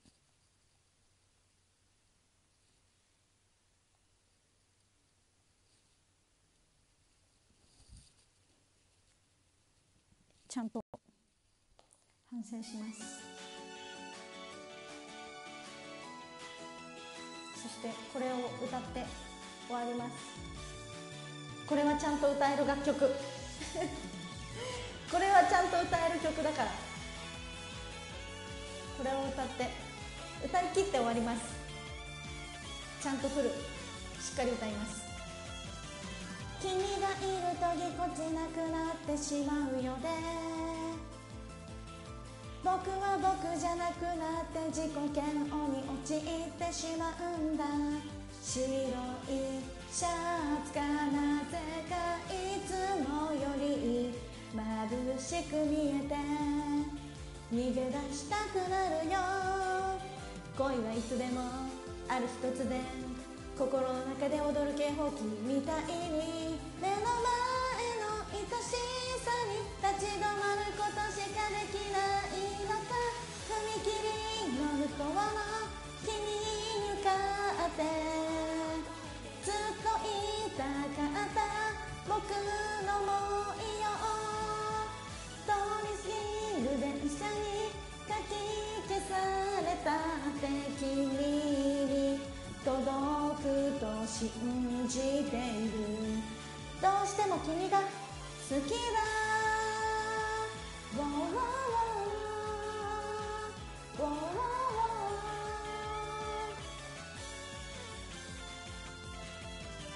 ーもし君と出会わずに生きていたらどこを歩いているだろう。僕はもっと僕らしく何も縛られず自由でいられたのか。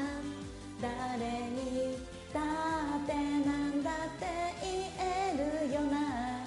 飾ることのない。T シャツでいたいな。踏切りを渡ろうとしていたら遮断機が降りてきてこれ以上君に近づけそうにないんだ。そこにいるのに何にも気づかない。君のままで。風に乗ってきっと聞こえるだろう。青い車両に遮られたって僕の言霊を届けたいよ。いつだって君が好きだ。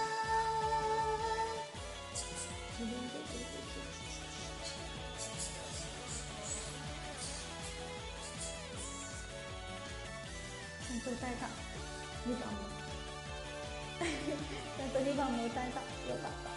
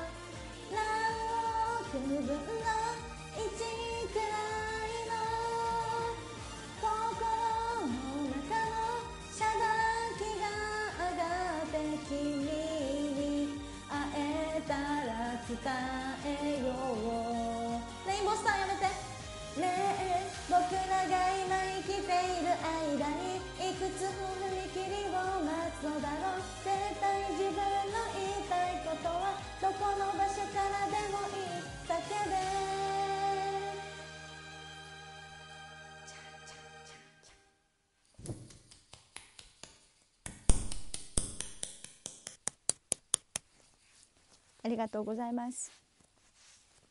まあ、ギリセーフ。えー、実は。恋はいつでもある日突然心の中で鳴る警報器じゃないですか。心の中で鳴るじゃないですか。なんかちょっと詩人出しちゃって心の中で踊っちゃいました。心の中で踊る警報器 ごめんなさい。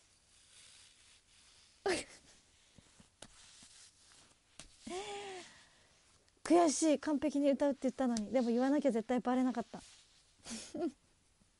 でもちょっとちゃんと言ったからちゃんと歌えなかったのでしっかり反省します。ごめんなさい。心の中で踊ってしまいました。あれ？止まった？固まった？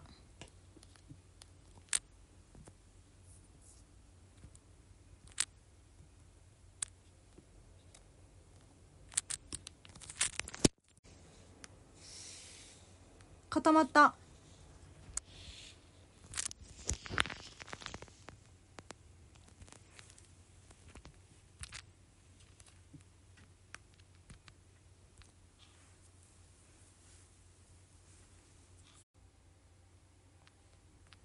動いた。頑張りすぎ子さんかも。うちのはい携帯。ちょっと動いてる。瞬間にランキング読みます。心の中で踊らせてしまいました。すいません。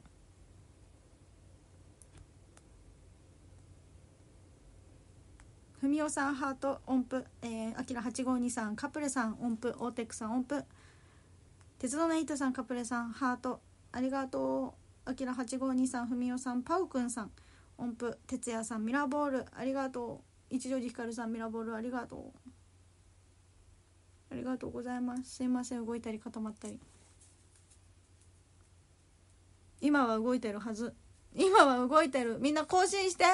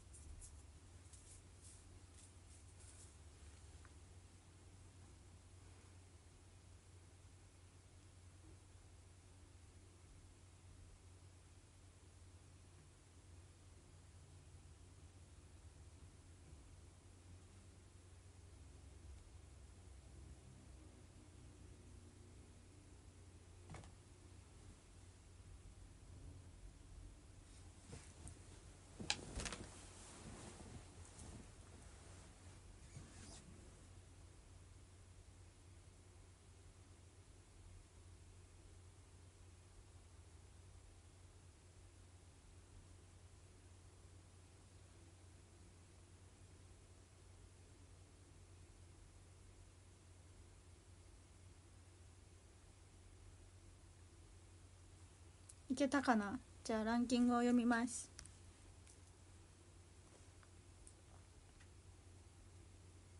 いやみんなが「止まってるよ」って 言ってたから。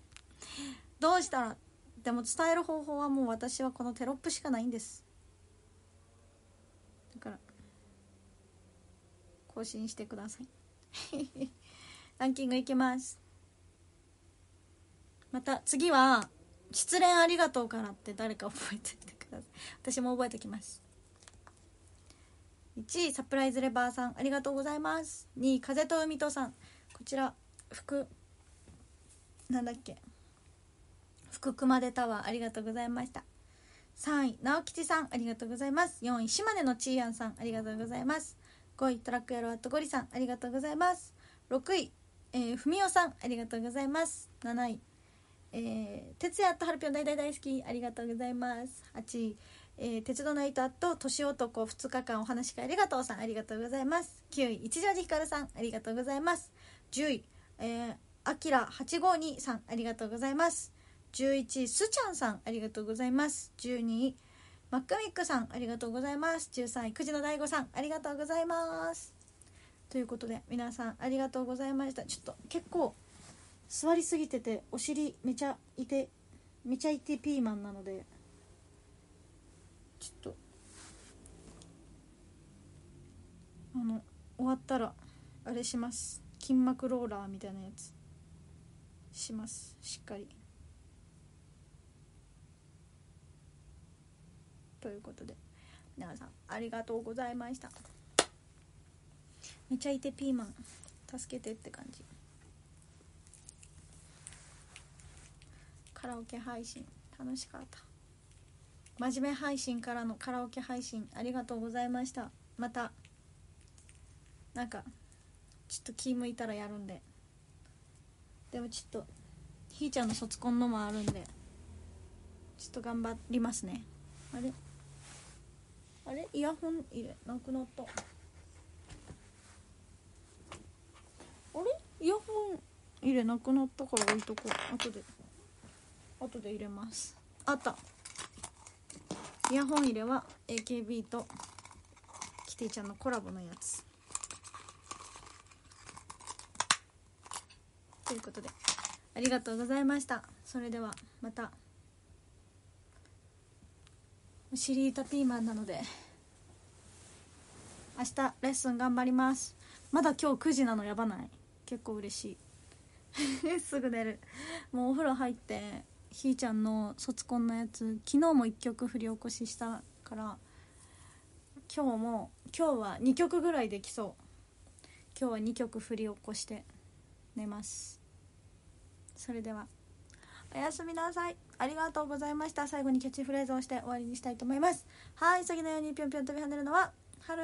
ありがとうございます。今日も自慢の「ラビットジャンプ」で1万247盛り上がりの皆様にきっと期待がお届けしちゃう富山県出身春ぴょんこと味もたるなでした。それではおやすみなさい。夜ご飯食べよう。お腹すいた。バイバーイ。おやすみ。